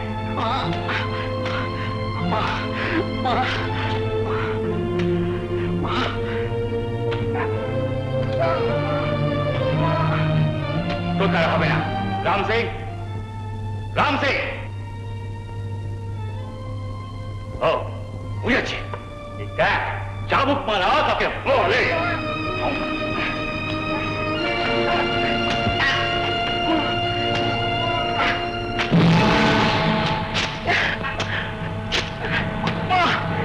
জয়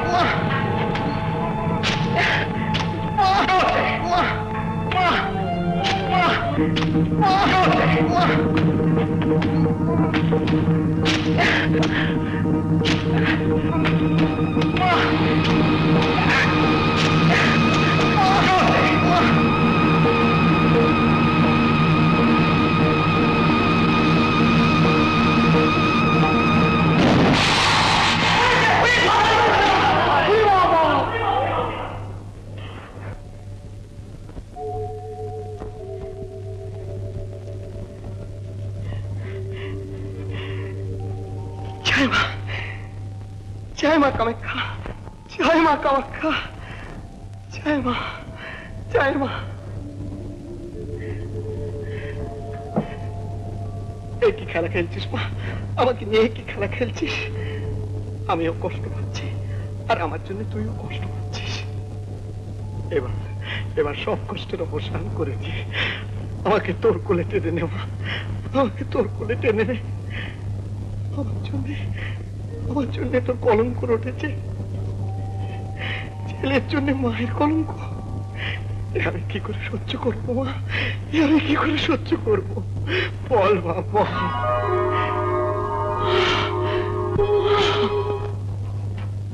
দেওয়ান কাকা মারা গেছেন কি সম্ভব? কেন সম্ভব নয় বড় রাজকুমার? যে একটা মরা ছেলেকে বাঁচাতে পারে সে একটা জ্যান্ত মানুষকে মেরে ফেলতে পারে না? আমি তো আগেই বলেছি যে কেন্দু ঠাকুর ঘোর তান্ত্রিক পিসাজ সিদ্ধ। তান্ত্রিক? পিসাজ সিদ্ধ? আগে শুধু তাই নয় দিনের পর দিন ওই ভণ্ড তান্ত্রিক মায়ের মন্দিরের দরজা বন্ধ করে সুন্দরী নারীদের সত্যি? আগে মায়ের মন্দিরে গিয়ে একবার সচক্ষে দেখলেই পারেন রাতভর কারা নাচে। মন্দিরের মধ্যে সুন্দরী নারীর নৃত্য। আগে বিশ্বাস না হয় আমার সঙ্গে চলুন। আমি দেখিয়ে দেবো।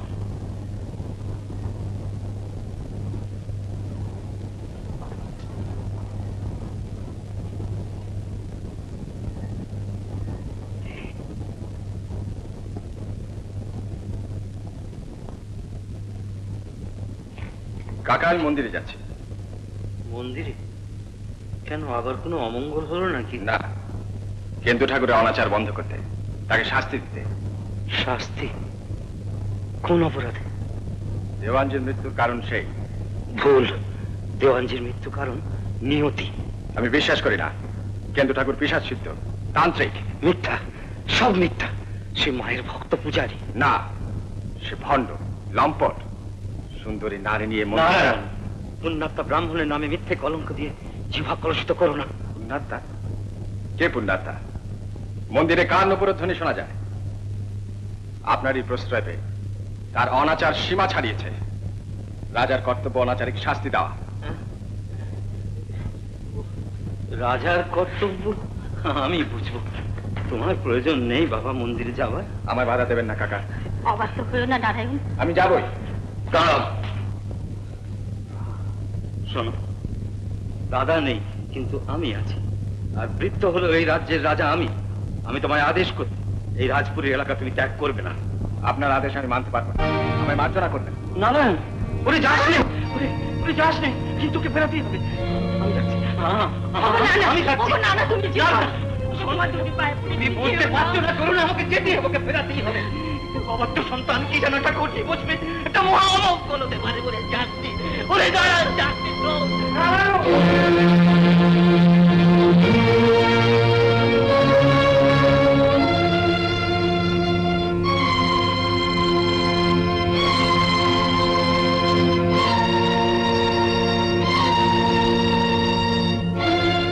দেওয়ানজির মৃত্যুর জন্য আপনি দায়ী। আমি? হ্যাঁ। মারণ মন্ত্রে আপনি তাকে মেরে ফেলেছেন। মন্ত্রতন্ত্র তো তো আমি কিছু জানি না বাবা। আমি শুধু আমার মায়ের নাম করি। মায়ের নাম করে অনেক লীলা খেলাই তো আপনি খেলছেন। আমি খেলবার কে বাবা? যিনি খেলবার তিনি খেলছেন। আমার লীলাময়ীর লীলার কি শেষ আছে বাবা? প্রতি রাত্রে আরতির সময় যে নৃত্য লীলা চলে সেও মায়ের লীলা খেলা তাই না? মায়ের লীলা বই কি বাবা? আরতির তালে তালে মা নাচেন তাই না? হ্যাঁ বাবা এই জানো রাজকুমার হৃদয় শতদল থেকে কখন যে বেটি নাচতে নাচতে বেরিয়ে আসে আমি তা বুঝতেও পারি না। আমার তখন জ্ঞান থাকে না। আমি তখন আমি তখন প্রাণ ভরে আমার মায়ের আরতি করে যাই। এমন ভণ্ডামির একটা শেষ আছে। কুমারী পূজার নাম করে মায়ের মন্দিরে প্রতি রাত্রে যুবতী নারীদের এনে নৃত্য করান। হ্যাঁ রাজকুমার। মা আমার আনন্দে তালে তালে নৃত্য করেন আর তাহার সেই নুপুরধ্বনিতে সারা মন্দির ভরে যায়। ওই আরতি আমি দেখতে চাই। তা হয় না রাজকুমার। মাকে তো আমার খালি চোখে দেখা যায় না। মাকে দেখতে হলে তন্ময় হয়ে মানুষ চোখে দেখতে হয়। সেই নৃত্যরথা মাকেই আমি দেখতে চাই। না না রাজকুমার মহা অনর্থকে ডেকে এনো না। এছাড়া মন্দিরের কলঙ্ক দূর করার অন্য পথ নেই। অন্য পথ নেই? না শুনুন যদি আপনি মন্দিরের কলঙ্ক দূর করতে না পারেন তাহলে বুঝব আপনি ভণ্ড বামাচারী।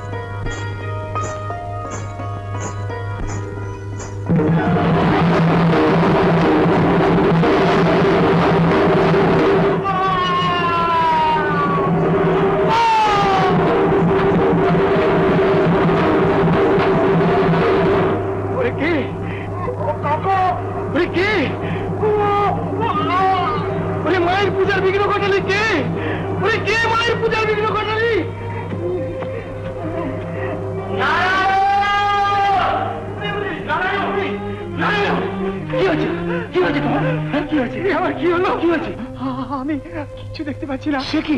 আমি আমি কি? কি করে দশা হলো তোমার? কিন্তু অবিশ্বাস করেছিলাম। সেই পাপের প্রতিফল আমি পেয়েছি কাকা।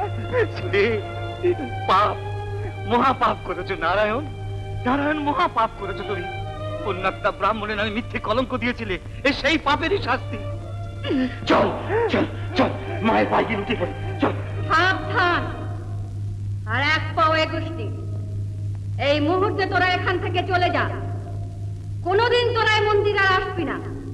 যদি কেউ তোরা এই মন্দিরে আসিস, তোদের বংশ নির্বংশ হবে।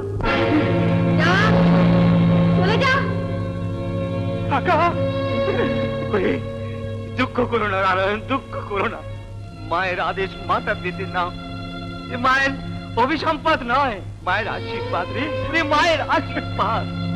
ঠাকুর ঠাকুর ঠাকুর, তুমি মায়ের সেবক। তুমি মন্দিরের মালিক এ মন্দির তোমার এ মন্দির আশীর্বাদ করো আশীর্বাদ। ঠাকুর ঠাকুর বাবা চল।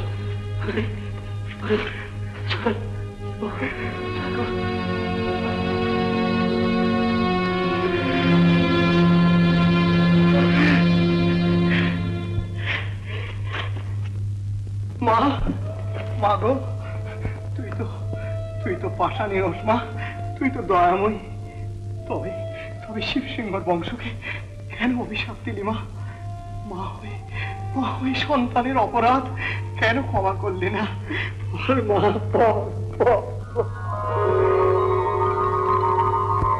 শোন।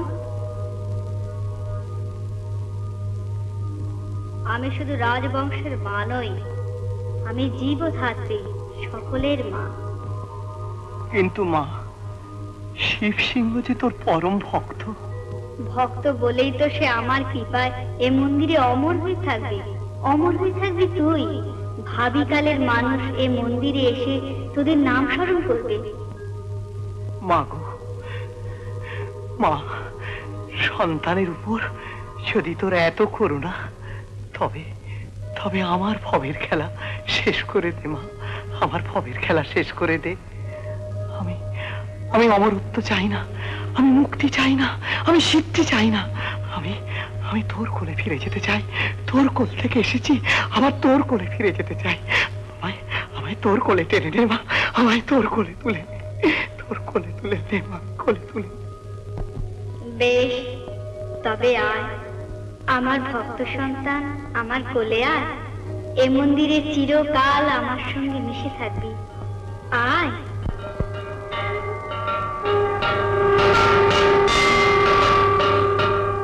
বলে